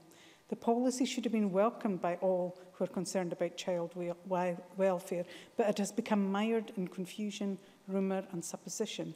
Where are the clear guidelines? Where is the training for named persons? Where are the additional staff and resources? Why are we reading such ridiculous stories of needless interventions in the press? The First Minister herself appeared not to have a grasp of her own policy, saying that it was optional. Of course, a parent can opt out of not using their child's named person for advice and information, but they cannot withdraw their child from having a named person Child protection is not optional. It's little wonder, therefore, that there are real concerns about the policy. And to make it work, we need to pause, we need to take stock, uh, stock and make sure that it's implemented properly. A trusted independent person needs to review how the policy has been implemented. They also need to listen to the real and genuinely held concerns of parents and professionals. New guidance needs to be issued by someone who understands not only the policy but understands the concerns of parents. There are wicked people out there that cause for harm. Therefore, we need that, to have that protection in place. And these protection systems are not there for the children of many great parents who bring up their children well. Why would you waste limited resources when they're not required?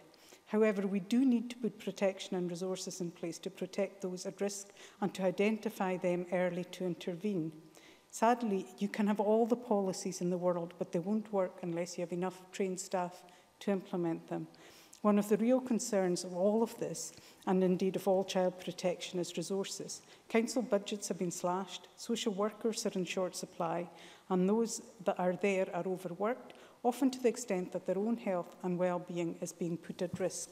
If we're going to protect vulnerable children, we need well-resourced services. We in the Labour Party are clear that the cuts from both our governments are putting the most vulnerable in our society at risk. We need to stop the cuts, fund our services, and protect our future generations.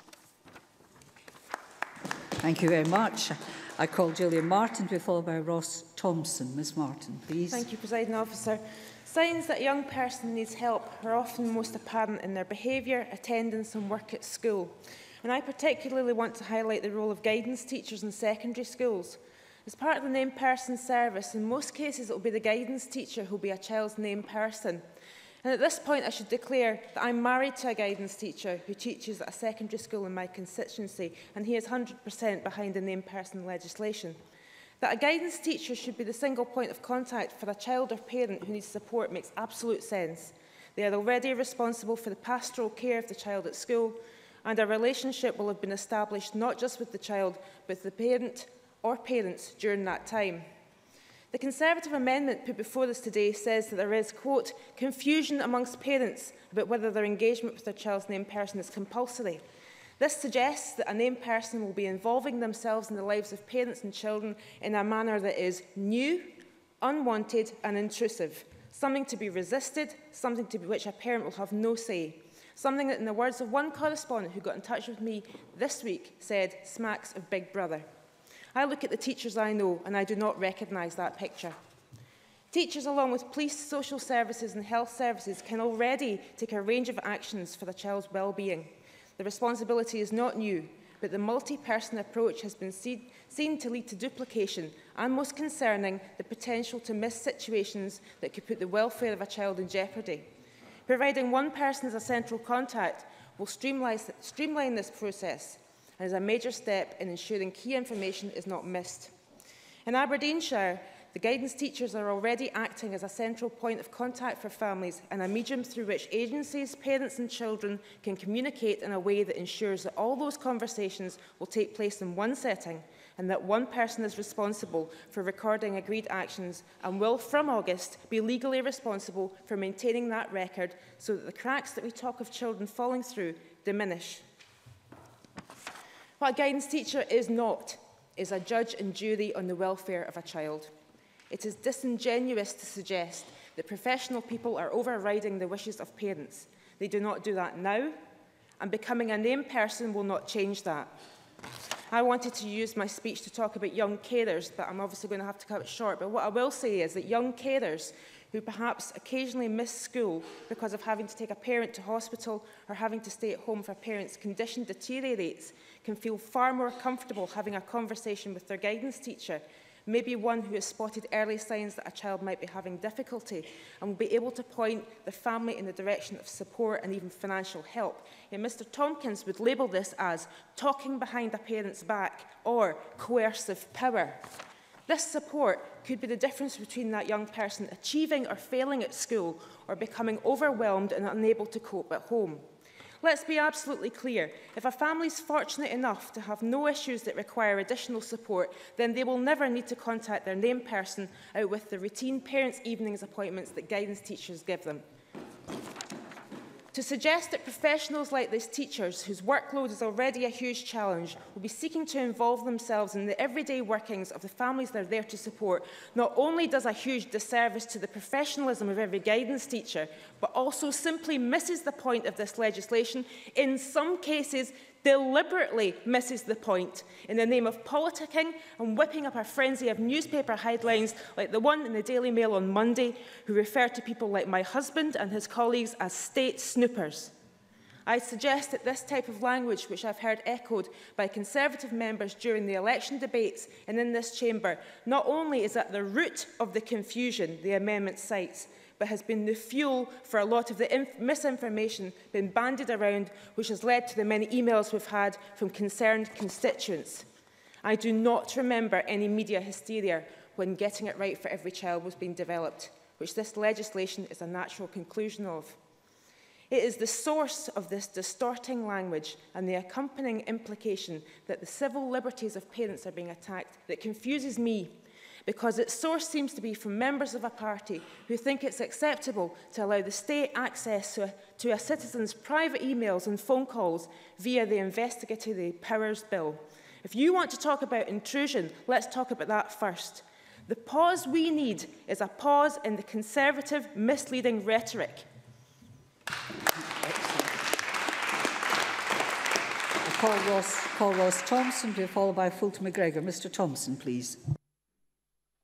Thank you, Deputy Presiding Officer, and I would like to declare an interest as an Aberdeen City Councillor and refer members to my register of interests. I have no doubt that the named person policy of the Children and Young People 2014 Act was designed with the best of intentions to achieve early intervention with greater collaboration and cooperation between different agencies and service providers. No one would argue against the need to do everything that we can to protect children and ensure that the system in place is as robust and as effective as it possibly can be. However, what is absolutely clear now is that this policy has lost the confidence of the public and there is growing concern amongst many of the frontline professionals who will be tasked with implementing it. A poll published by a national newspaper last week showed that two-thirds of Scots thought that named person is an unacceptable intrusion into family life. Further evidence that the public are deeply concerned about the impact that a state guardian will have on their family. Uh, I would like to make some progress just now, but I will take under inches later. I know from my own experience on Aberdeen City Council just now how anxious some members of staff are, and I recognise that Aberdeen City has worked hard to engage with staff to ensure that they are prepared for implementation. Now, concern has been expressed to me that the cost to the Council as a result of implementing the legislation will be more than 2 million a year. Naturally, with increased statutory duties, there will be costs in terms of head teacher time, senior management time, administration time, which goes above the current work that they do, not to mention all the support and training that will have to be carried out. Yes, I'll give away to Mark Minister. McDonald.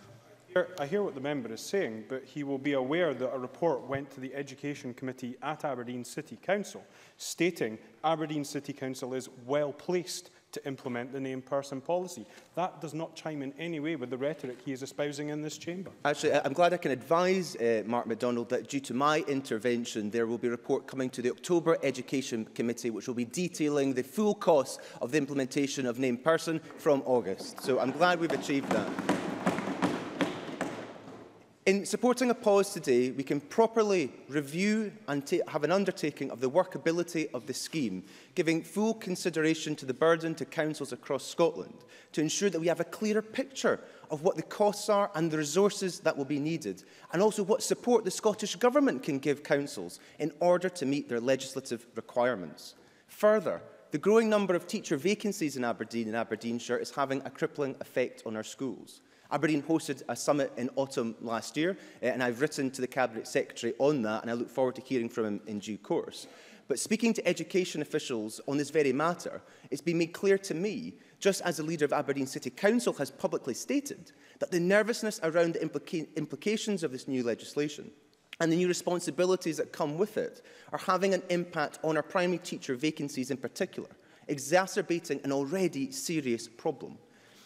If that was not enough to give politicians today pause for thought, then consider the warnings from the country's largest teaching union, the Education Institute of Scotland, the EIS, that tell us that teachers are becoming increasingly concerned about the impact named person will have on their workload and have criticised a lack of clarity on how the scheme would work in practice.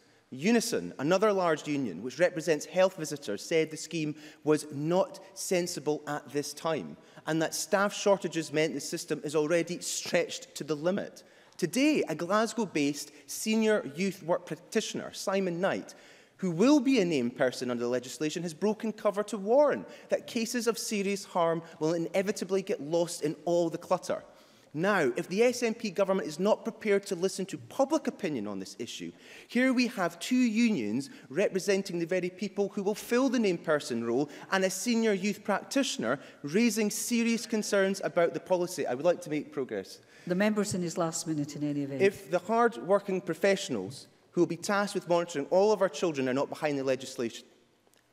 then how on earth can we expect it to work? Even Jim Sillars, a former deputy leader of the SNP, has said that the vague and ambiguous wording of the bill would not pass muster under scrutiny at Westminster. In today's Telegraph, the former SNP leader Gordon Wilson is calling for the legislation to be repealed, warning his colleagues in this place not to be stubborn. I hope that the SNP will take heed of the concerns today and agree with the amendment in Liz Smith's name to press pause so that we can decide if this law is workable in its current form. A majority in Scotland do not believe it is. Thank you, Mr Thompson. I call Fulton McGregor to be followed by Ross Greer. Mr McGregor, please. Thank you, Presiding Officer. It gives me great pleasure to speak in this debate and to specifically address the named person legislation. I have been a qualified social worker for the last 12 years, and as I said at my opening speech uh, a couple of weeks ago, predominantly working in the field of child protection. So I think I can speak first-hand uh, experience and how I feel this Act will benefit Scotland's young people. And I have to say that I don't recognise what Liz Smith had said earlier in terms of professionals being against the Act. Um, my own personal experience uh, tells me otherwise. One thing I would like to be clear on, as others have already mentioned, is that the concept of a named person is certainly not new. Every child in Scotland already has a lead agency through the Getting It Right for Every Child framework, eh, a phrase that we've heard already today. Usually a health visitor, a primary school head teacher or a guidance teacher. As parents, and I, I'm a dad myself, we know at any one time in our child's life where we can go to for contact and support if we need it. The named persons legislation is a natural extension of this and is aimed at increasing protection and services for Scotland's most vulnerable youngsters. The changes will not affect most people in their daily lives. Remember that the Court of Session has already ruled that the legislation would have no effect whatsoever on the legal, moral or social relationships within the family. This is a fundamental principle which I and this government believes in. It is telling that many frontline child protection workers, children's charities such as Bernardo's and many others mentioned support this legislation. Why would they do that if they felt the legislation was in any way detrimental to family life? The answer is simple, they just wouldn't. They're all guided by one underlying principle, that the need of the child is paramount, and of course they're also guided by the desire shared across this chamber to offer the best protection and services to our most vulnerable. I would like to mention here a local charity organisation, the Moira Anderson Foundation, which is involved in excellent work across Lanarkshire The charity was set up by Sandra Brown, OBE, in 2000 as a legacy to Moira Anderson, who disappeared in Coatbridge on a winter night nearly 60 years ago. I would also like to take at this point to declare uh, that I was a previous director on the Foundation board and direct members to my register of interests. I did not receive any remuneration for this role. In speaking with Sandra Brown just yesterday, she also confirmed her support for the legislation, saying, and I quote, I welcome the impact I think this scheme will have and the signs are hopeful that will improve things for young people across the country. This is yet another example of a children's organisation working directly with vulnerable people which supports this move forward.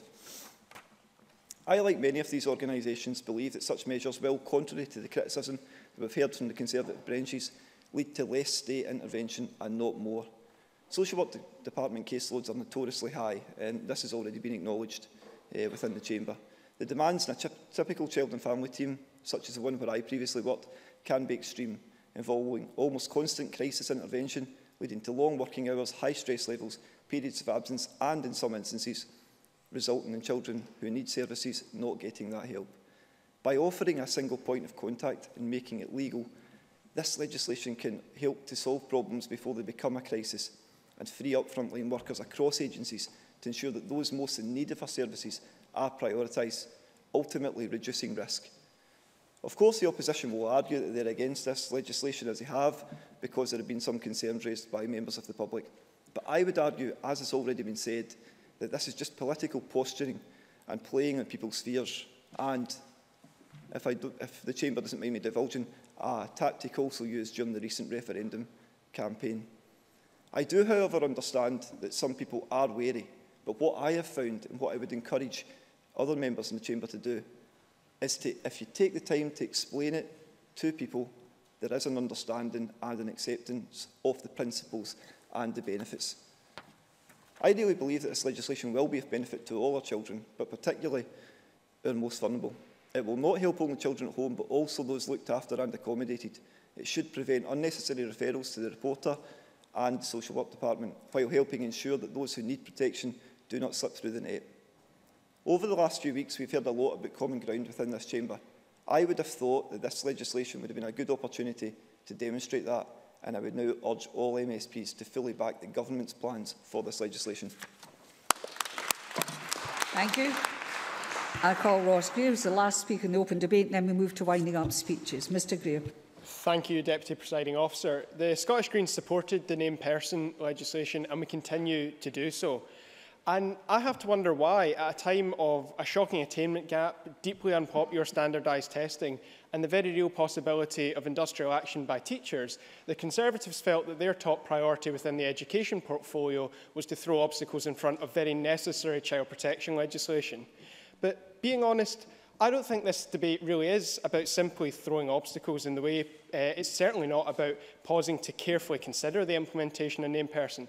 It's about further damaging public confidence in a system which has been misrepresented, misunderstood, and frankly, on occasion outside of this chamber, lied about. This is not some fatally flawed proposal. As has been already mentioned, it has widespread professional support from the Royal College of Nursing to Bernardo's, the Police Federation, and others. and it is clear that the Scottish Government must embark on a campaign of building public confidence and better explaining what named person really means in practice. Until now, it has been the opponents of the system who have successfully defined it in the public conscious, and these misrepresentations have understandably given rise to significant public concern. We do not for a second dismiss these concerns. Indeed, I would remind those on all sides of the debate that it's not just the concern of parents and guardians we should be listening to, but the concerns of young people themselves. I'm concerned that due to the confusion and incorrect information in this debate, young people across the country may no longer feel confident seeking confidential support and advice at the very times where they need it the most.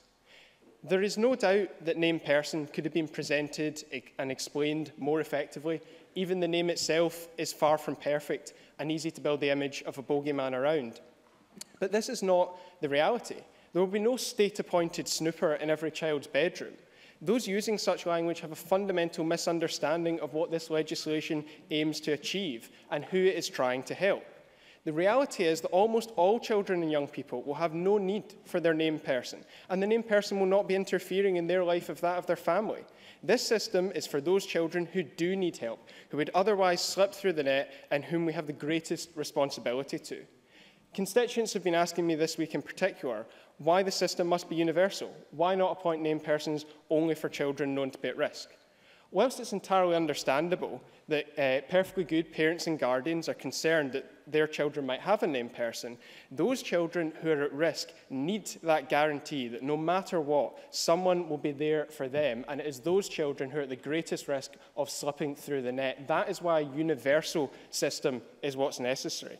There's no need, uh, there's no reason to believe that the named person will be intervening in cases where a child grows up in a perfectly safe and stable environment.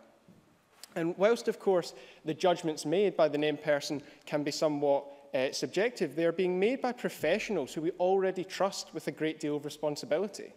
Most children are not born at risk. They don't enter nursery or school with an at-risk label on their shirt. And often those who are at the most risk are the hardest to identify.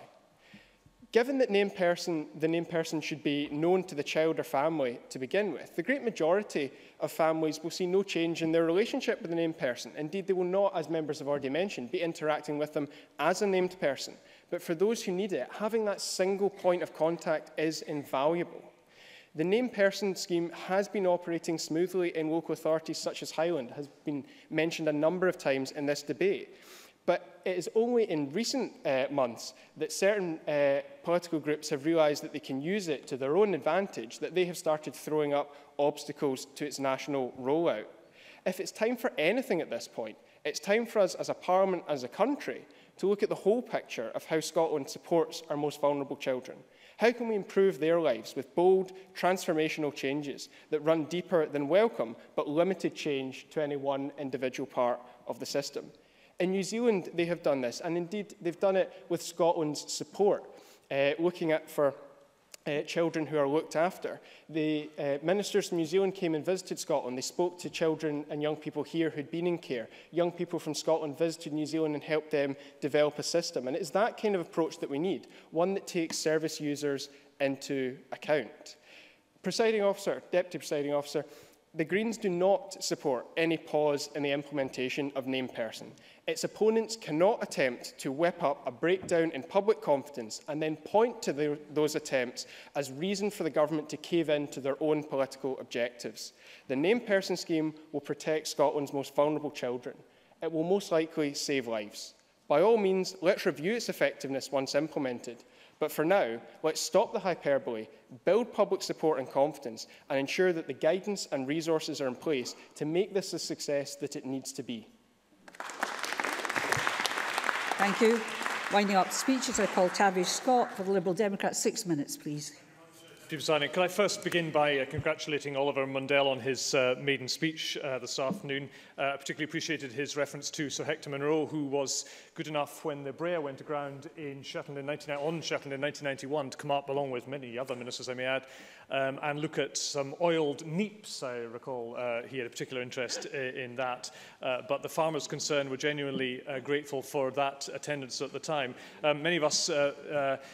uh, enjoyed the sparring with, uh, with uh, Oliver's, uh, Oliver Mandel's father over the years in this place and in a previous place up the road, um, so it's good to see him uh, here. Well, I suppose it's good for the Conservatives to see him here. I suppose thought others might reflect in a slightly, a slightly uh, different way. Uh, I must confess, I, I don't know quite how the Tories managed to merge um, the issue of um, their concerns with the details of this bill with the, uh, their principled opposition, if that is indeed a principled, if the principled opposition uh, to the named person um, Act that is now in front of us. Uh, not least of which because every time I read a national newspaper, there's another excoriating attack on the policy and on the principle from uh, a Conservative MSP. There's a couple in today's uh, newspapers, and indeed Adam Tompkins, who no is going to wind up on the front bench here for the Tories, wrote, I just thought a load of nonsense in the Daily Mail uh, last week on uh, this. Now, Adam Adam, uh, Adam Tonker is maybe going to give us a very legal lecture on, on the guidance and so on and so forth. I don't know uh, what he plans to say, but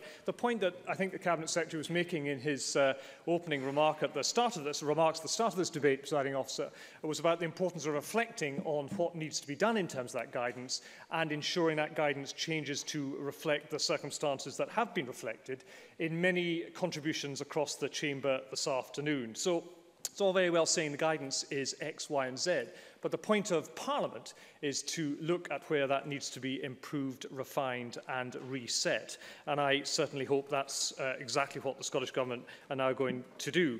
Uh, the language that has been expressed today, and Liz Smith, I uh, thought gave, as usual, a very moderate speech uh, by, uh, uh, I was going to say by her standards, that's very unfair, that's uh, not at all what I uh, meant to say, uh, by, uh, by her party standards on this issue, issue was what I was looking for, um, uh, was, uh, was right in many of the observations she uh, made. Uh, but it is not in anyone's interest to use uh, phraseology, as other members have rightly described in Parliament this afternoon, around state snoopers, when it is patently, simply not the case. Uh, can I uh, draw out uh, a couple of the uh, uh, more uh, broadly uh, uh, thought about uh, policy issues that have come uh, through this afternoon. Uh, there have been representations from all sides of this chamber to the government on the importance of getting resourcing right behind uh, this measure. That is not just from uh, from opposition members, but it is also from um, contributions from the government's own uh, side. And they do reflect uh, all of our regions and, and constituencies uh, and their thoughts on where um, uh, early intervention can happen, preventative uh, uh, work can happen, but the need to resource that against uh, very, the lives of very busy professionals in uh, many aspects of both the health service and of our schools as well. Uh, the second is on the uh, single point of contact uh, and the evidence that uh, Ian Gray rightly uh, led in front of the Parliament earlier today. Um, my view of Bill Alexander's evidence, not just to the committee some years ago, but also in what he was saying in his briefing earlier this week about the importance of these measures, is that uh, he says that the name person role has cut out, this is in Highland, has cut out unnecessary and unhelpful information sharing, created a clear point of contact for the family and, very importantly, a means of ensuring that services that the family want are mobilised quickly and without bureaucracy. Now, that flies again in the face of all those who simply say that all of this is about more paperwork and more meetings and more bureaucracy. We should be surely learning, and this is the point for the professionals across the field, it's not for parliamentarians, it's about those who are, do, who are taking forward this policy, that if uh, Highland can work on this for a number of years and, and the Director of Care and Learning can make that observation about it, which is entirely consistent with the Christie Commission's recommendations that we all looked at some years back, then that is a step forward in this uh, particular uh, area. Um, the other aspect of um, Bill Alexander's evidence that I do find compelling is that, uh, and I really want to stress this and hope that the ministers will be prepared to respond to this in the wind-up, is that he states the bottom line is that a health visitor or a head teacher, a named person, would not engage with another professional without the family's consent, which gives a lie to the suggestion, I'll put it no strongly, more strongly than that, that this will all be imposed on families and that uh, their right uh, to uh, look at their child's future and, and be uh, utterly involved in that is somehow taken away by this named person uh, measures. No, I'm going to just finish on uh, these couple of uh, points. That is the evidence of Bill Alexander, and uh, members who want to intervene on this might want to go and read it and listen to it and maybe take it into account rather than coming up with their own prejudicial view of what uh, this is. And they can sit in sedentary positions and make as much noise as they like. They're wrong on this, and I respect a professional who says uh, what it is.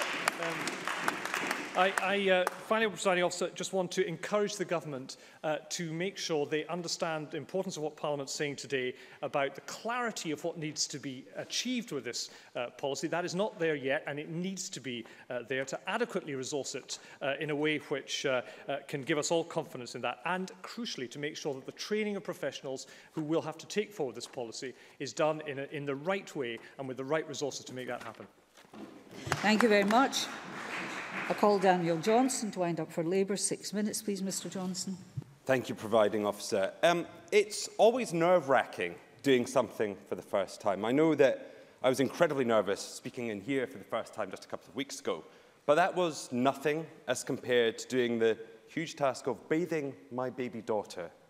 for the very first time. Trying to bathe a slippery, squirmy little person in a plastic bowl of water, terrifying. And the Scottish Government's talked a lot in the last few weeks about giving parents a box for the baby, but I'm sure that I'm not the only dad in Scotland who'd quite like an instruction manual too. The secret fact of parenting is this, that no one really knows what they're doing, and we're all just making up as we go along and hoping that none of our mistakes are too big, or at least not too enduring. Parents need space and trust to do their job. And like lots of parents, my initial reaction uh, uh, uh, uh to name person was one of caution. The thought of someone looking over our shoulders, spotting and marking what we were doing wrong, sounded scary. But while most parents do figure it out, others don't. In the most extreme cases, parents struggle in the most fundamental ways. And in those cases, we need to work together as society to intervene. We need to have a clear pathway of escalation. And in the, deb in the debate about named person, trust has broken down. Parents feel that they're not being trusted that they are going to be watched. The point of named person isn't to spy on parents or to second guess them, it's to ensure that issues are spotted and help delivered when it's needed. But in the poor implementation of this, trust has been lost. Parents have lost trust in the government, they've lost trust in the intent of the scheme, and most worryingly, this trust, I think, threatens the trust in some of the people that we're asking to be named persons. And I think we've had a very good debate today. It's been constructive and it's been engaged. I think in particular, the contributions from Jenny Gilruth, Stuart McMillan and Gillian Martin, talking about the trusted professionals that we're relying on, and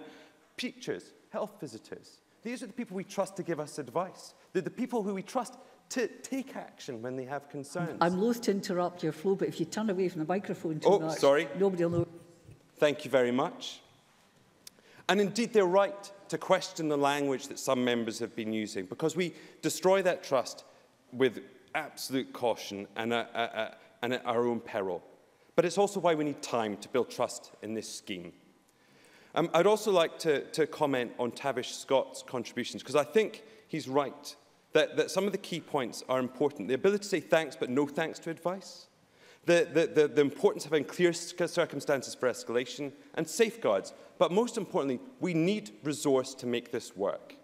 So it's why I welcome the Deputy First Minister's contributions uh, uh, in terms of working on the guidance and communication. But I would urge the Deputy First Minister, we do need a pause to build that confidence, and we do need a review.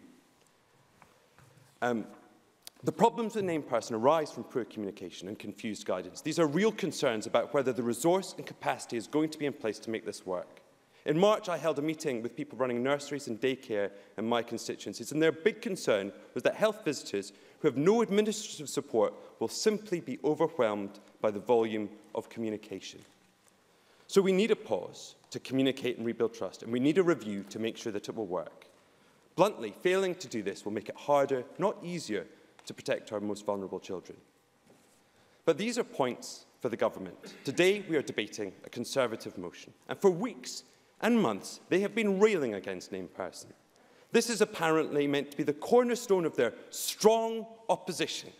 But they have come to Parliament today and said that all we need is a bit more of a chat, a bit more of a debate. So if the SNP are guilty of getting the principles of reform right, but implementation wrong, the Tories are guilty of something far worse. Empty posturing, saying one thing out there and another thing in this place.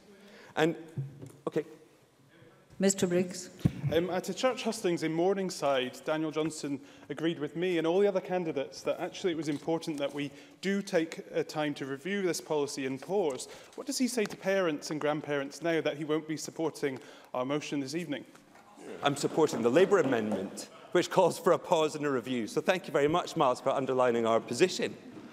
Um, Liz Smith, I think, let the cat out of the bag in her opening speech. She had a speech full of warm words, talking about resources and guidelines, but in response to my intervention, it came out that actually they don't support the whole thing, that they'd like to see it scrapped. So she could have saved the 11 minutes and 30 seconds and given the 30 seconds of the real point. No, I, I've, I've already taken one intervention.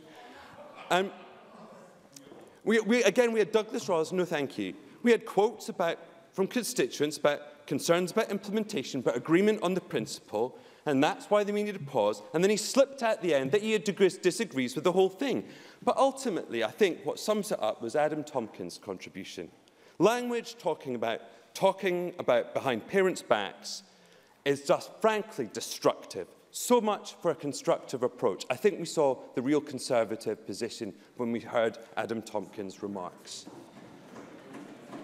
Because the truth is this, time after time they've argued against it. Members Ruth Davidson in her conference speech said that named person is bad law. In their manifesto they said it had to be scrapped. Even just a couple of days ago, Ruth Davidson wrote that the Conservatives disagreed with it in principle. But today's motion doesn't call it for it to be scrapped. It calls for a pause and a debate. A pause that just weeks ago, Ruth Davidson was lambasting Labour for proposing. Indeed, when she called Labour, uh, when Labour called for a pause, she described it as a screeching U-turn. Well, I hope they're wearing their earplugs today because I think Ruth Davidson just pulled the handbrake and pulled it pretty hard. So that we need a pause. We need pause to rebuild trust. We need pause to rebuild confidence. And we, we need a review to make sure that this works. And that's why Labour is proposing the amendment we have made today. And that's what we'll be voting for. Thank you. I call Mark MacDonald to wind up the government. Eight minutes, please, Minister. Thank you very much, Presiding Officer. And can I take this opportunity to formally welcome yourself and the rest of the Presiding Officer team to your roles. Um, we've had a debate today, Presiding Officer, which I think has got to the heart of um, some of the issues that have arisen around the name person policy. And I want to deal with some of the contributions mm -hmm that have been made today. The first thing I would say, though, to Daniel Johnson is that as the Minister who is responsible for the delivery of the baby box, I have made a note to see if we can get some form of grippy gloves to put into that uh, in order to assist him uh, with the bathing of his daughter, which is clearly causing him some difficulty. Uh, in terms of um, the contributions that we've had today, I want to single out uh, Tavish Scott's contributions. Because I think Tavish Scott has made extremely positive and thoughtful contributions, both in his opening remarks and in his closing speech, where he's highlighted the examples that exist in Highland and elsewhere of where the name person policy has worked. Uh, and I hear uh, absolutely the point he is making about resources. I can say this government is absolutely committed to making sure that this uh, policy is properly resourced, and we will be happy to support the Liberal Democrat amendment when it comes to decision time today. Um, he asked uh, in his remarks about uh, how somebody could go around changing uh, a named person if they had a disagreement. And I say to him that in the draft guidance it states uh, that uh, the named person provider must ensure that children, young people and parents can, in exceptional circumstances, request the named person's service to consider the identification of alter an alternative named person. So the provision is there to enable it to be done, and it then becomes the responsibility of the author relevant authority to enact uh, on those wishes, should they identify that the circumstances are reasonable. Uh, Liz Smith uh, and a number on the, the Conservative benches spoke about uh, paperwork and caseload, and I thought this point was rather successfully neutered by both the Deputy First Minister and by Ian Gray, and indeed by Rhoda Grant as well, who cited the figures in Highland of the reduction in caseload that came about as a consequence of the implementation of the name person policy in Highland. That is a demonstration of the benefits of early intervention. Perhaps I could develop a little further uh, into my speech, and then we'll maybe, maybe get into the, the position of taking some intervention. questions. Um, my, my colleague George Adam on the back benches questioned whether uh, the principles of GERFIC were, were, being questioned in this debate. And I saw no disagreement on the Conservative Minister, benches. I, am accusing no, you of saw, talking away yeah, from the microphone. I, I, I, saw no disagreement on the Conservative benches at that point, uh, which is a relief because they've obviously changed tack from the article which uh, Professor Tompkins, who's been mentioned a lot in this debate, published in The Spectator, where he referred to GERFIC, Getting a Right for Every Child, as a ghastly Orwellian acronym.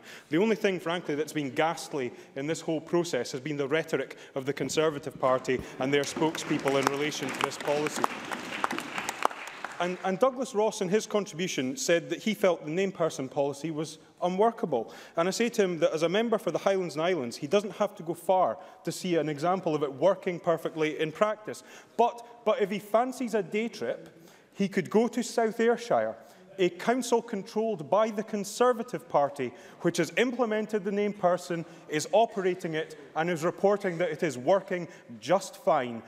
Why is it okay for the Conservatives to implement it in South Ayrshire and say that it's working just fine, yet they come to this chamber and spread misinformation about the policy? Mr Ross.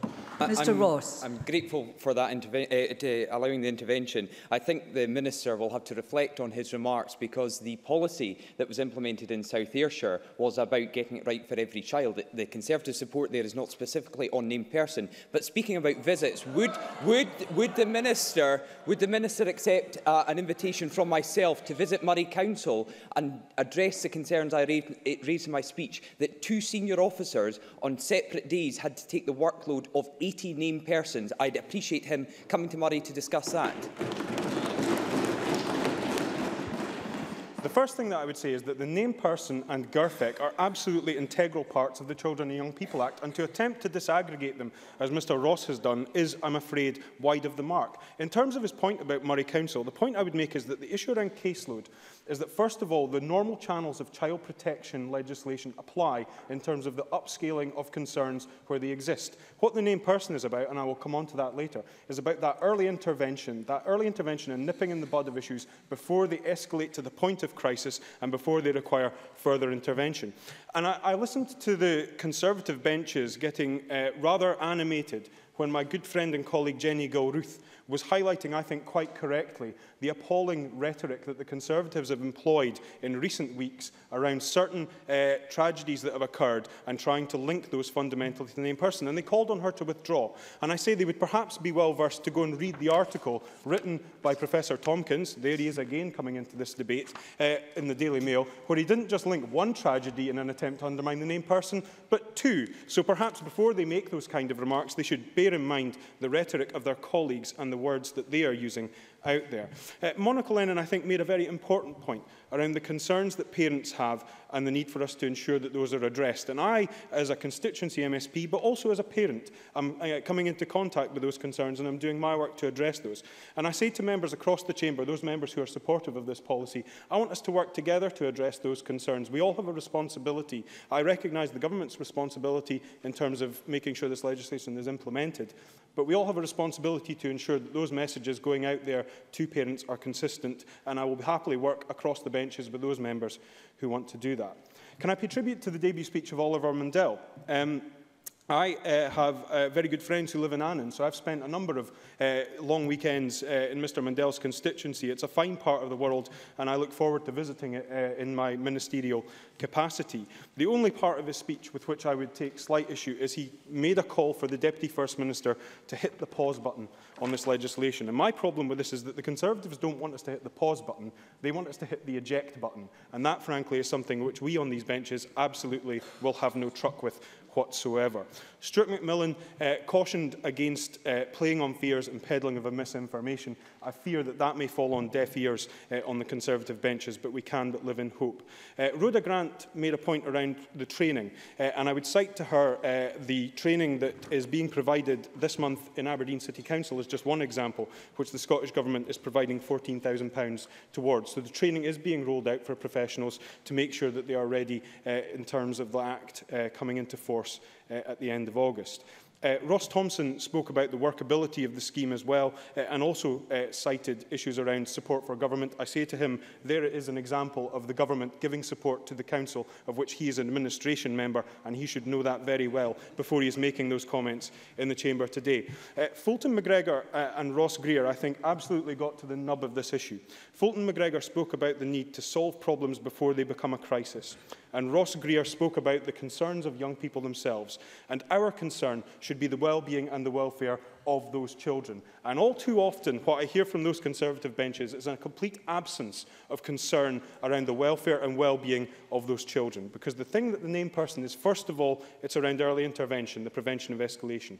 Secondly, it's about ensuring support for families is in place, where, for example, in my own example where we received a diagnosis of an additional support need, the opportunity is there for appropriate signposting to relevant services and support networks. And thirdly, it's about ensuring the upscaling to the appropriate channels of child protection, which at the end of the day do sit above the level of the named person. But the named person at the very outset, in terms of joining up that approach, has a critical role to play. That's why we on these government benches support that policy. The Conservatives have come here and tried to cloak their position uh, in a, a, a motion that talks of reasonability. Thankfully, the Parliament appears to have seen through that, and I look forward to them reinforcing the support for this policy at decision time today. Thank you. call Adam Tompkins to wind up the debate. Mr Tompkins, till 5.30 or thereabouts. Please. Thank you very much, Deputy Pre Presiding Officer. The principal problem with this law, Presiding Officer, is its overreach. Of course we need, and of course we should have, robust and effective child protection laws that focus on harm, abuse and neglect, that require intrusive powers.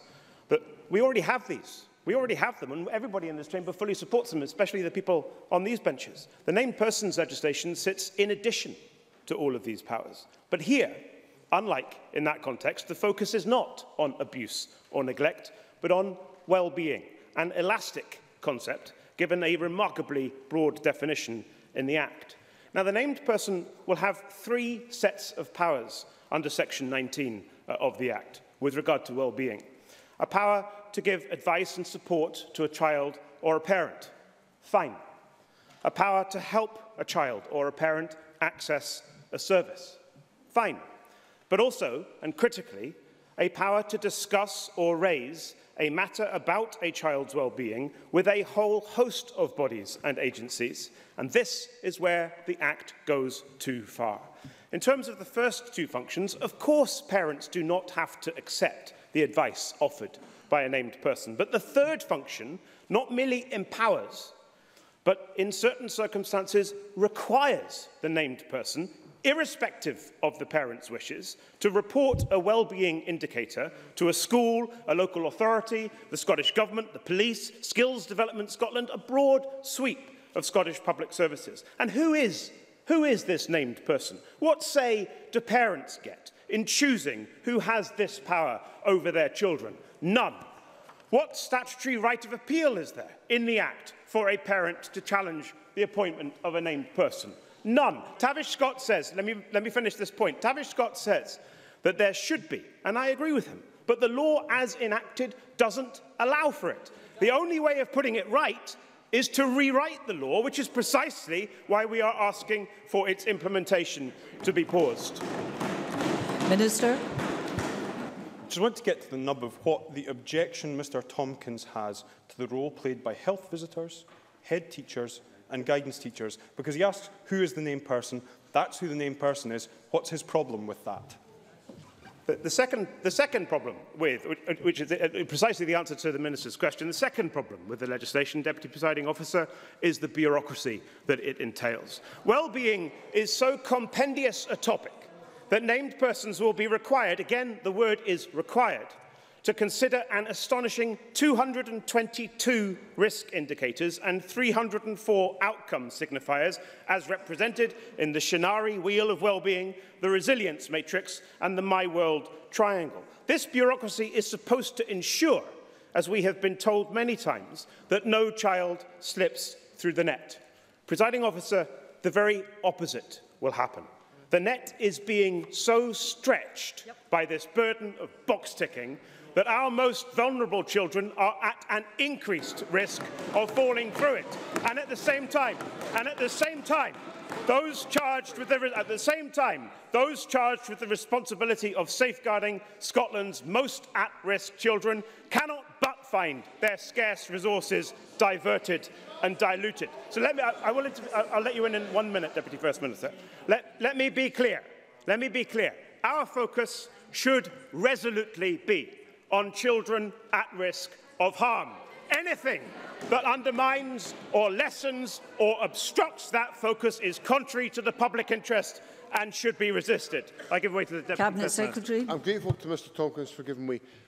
how can you make these remarks in the face of the specific evidence that this Parliament has heard from Highland Council about the reduction in the number of children on the Child Protection Register and the reduction in the number of children who required more detailed in, intervention from the local authority?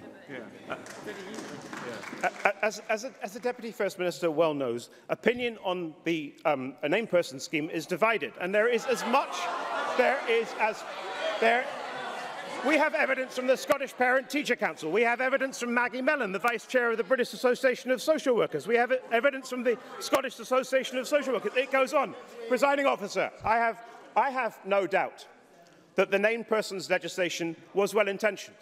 I don't believe for a moment, I don't believe for a moment that its proponents want to undermine the effectiveness of child protection But the evidence strongly suggests that that's precisely the unintended effect of this ill-considered law. That's what we heard from my colleague Douglas Ross. That's what we heard from my colleague Ross Thompson. Now, I know I know that the legislation was extensively examined in committee, but what happens here in this chamber matters. And the stage one debate on this voluminous act, 18 parts and more than 100 sections, was completed in less than an hour and 45 minutes and the stage three debate on the named persons provisions lasted for no longer than an hour and 10 minutes. It is the job. It, it is, it is the, the it is the job. It is the job of this parliament to act as the revising chamber for the laws passed in the last one. And that's why we're asking in today's motion for this law that's why we're asking in today's motion for this law to be paused. Everyone here knows, everyone here knows that we think the named persons law should be buried, not paused. But that's not what we're asking for today. All we're asking for today is for this Parliament to take another look, to take stock, to reconsider, to listen to the evidence and to think.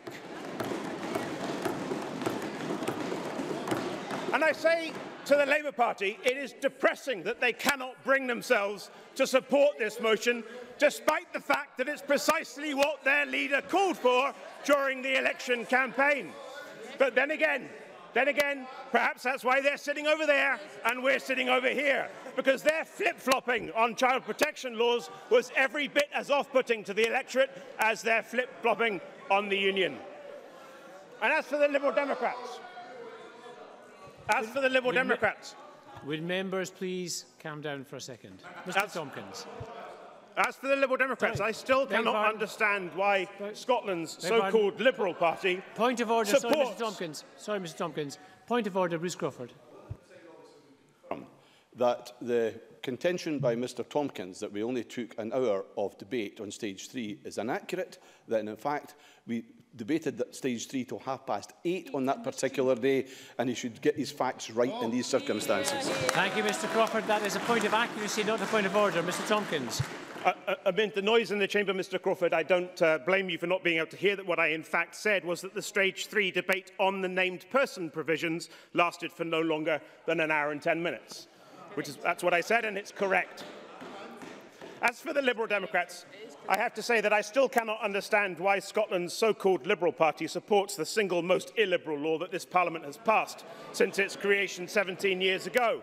If Labour show us, if Labour show us that the only effective, if Labour show us, no, if Labour show us that the only effective opposition to the SNP is going to come from us, then the Liberals show us that the only true defenders of liberty and freedom and responsibility in Scotland are the Conservatives. Which brings me, which brings me to Mr Swinney's. I'm in my last, I'm in my last minute, Mr Rennie. Which brings me to Mr Swinney's amendment. Mr Swinney's amendment says that the Parliament believes that most children and young people get all the help and support they need. Well, precisely which is why most children and young people in Scotland don't need a named person. Mr Swinney's amendment, Mr Swinney's amendment identifies the first two functions of the named person to provide advice and support and to point parents and uh, children in the right direction when they need it, but it fails to mention the third function of the named person, legislated for in your own, in, the, in this Parliament's own uh, legislation, which is, as I have said, to discuss issues pertaining to well-being with a whole host of institutions, including uh, the Scottish Government. And like everybody else in this chamber, I welcome, albeit very belatedly indeed, the Scottish Government's acknowledgement that there are concerns expressed about the implementation uh, of this policy. Presiding officer, it is imperative that we get this right. All afternoon from these benches, we've heard speaker after speaker present evidence and reasoned argument that we have not got this right. It has, it has, it has not been, it has not been, it, I, am in my last minute, Mr Swinney. It's not been our intention. It's up to Mr Tompkins, Mr Swinney. It's up to Mr Tompkins. It, it, it has not been our intention today to turn up the heat on this issue. It has been our... In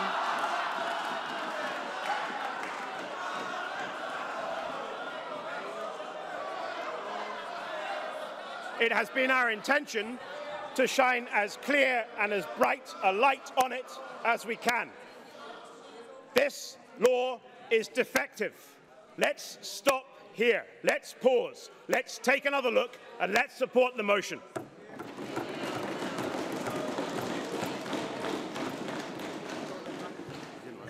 Thank you, and that concludes our debate on education. The next item of business is consideration of Business Motion 371 in the name of Joe Fitzpatrick on behalf of the Parliamentary Bureau setting out a business programme. I would ask any member who wishes to speak against the motion to press the request to speak button now. I call on Joe Fitzpatrick to move motion 371. Formally moved. Thank you. No member has asked to speak against the motion. I will now put the question to the Chamber. The question is that motion 371 be agreed. Are we all agreed? Yes.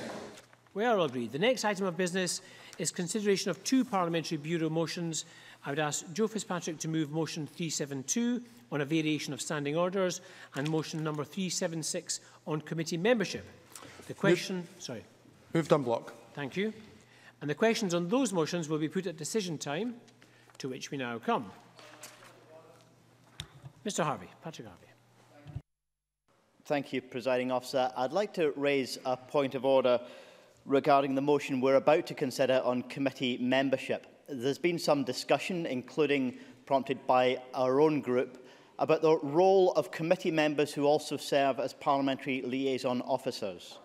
Today we're being asked to approve a motion on committee membership prior to having seen an announcement from the government about who will serve as their parliamentary liaison officers. And the question will emerge again, as it did in the last session, if a member sits on or even convenes a parliamentary committee, holding to account the minister who in fact appointed them to the role of parliamentary liaison officer, who is accountable to whom. Can I ask you, presiding officer, given that we're being asked to approve the motion on committee membership today, to which I have no objection at all, what opportunity will we have to prevent such potential conflicts of interest emerging once the government decides who will serve in the role of parliamentary liaison officers? Uh, thank you, Mr Harvey. I would thank you for the advance notice, although I did just receive it myself a few minutes ago.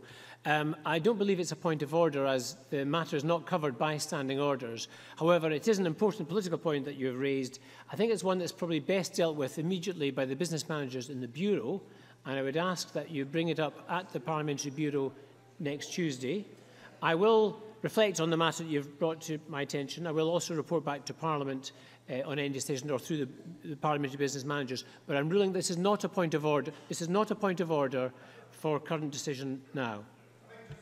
Yes, Mr Fitzpatrick. Just probably just to clarify that the nominations of the SNP group for committee places is for the SNP group. Yes, I think the point of order that Mr Harvey was bringing was about parliamentary liaison officers. It was not about committee membership.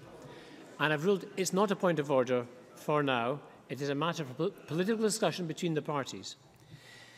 Now, there are six questions to be put as a result of today's business. The first question is that Amendment 345.1.1, in the name of Tavish Scott, which seeks to amend Amendment number 345.1 in the name of John Swinney on education, be agreed. Are we all agreed? Yes. We are not agreed. There will be a division. Members should cast their votes now.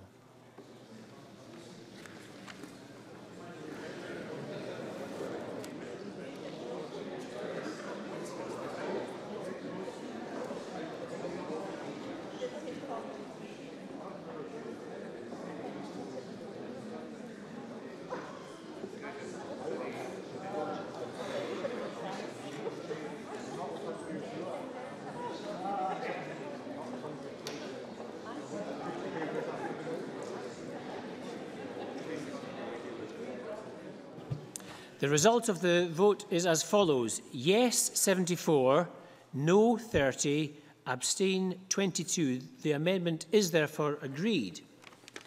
Now, there's a preemption on the next amendment. I wish to remind members that if the amendment in the name of John Swinney is agreed, the amendment in the name of Ian Gray falls. And the next question is that Amendment 345.1 in the name of John Swinney, as amended, which seeks to amend motion number 345 in the name of Liz Smith on education, be agreed. And I hope you followed all that.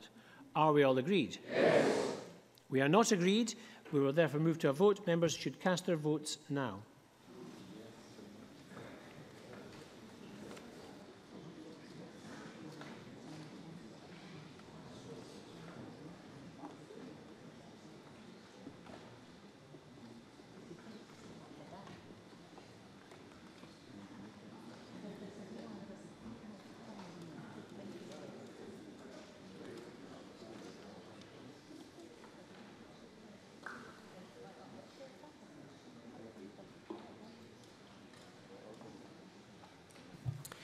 The result of the vote is as follows. Yes, 74, no, 31, and there were 21 abstentions.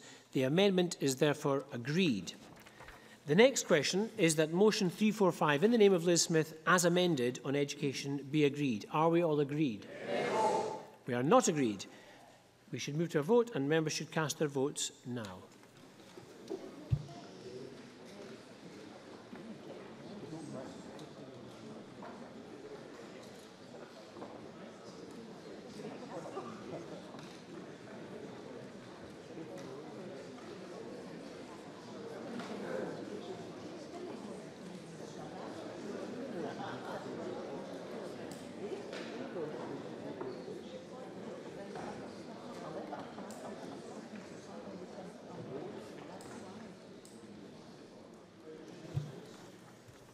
The result of the vote is as follows. Yes, 74. No, 31. There were 21 abstentions.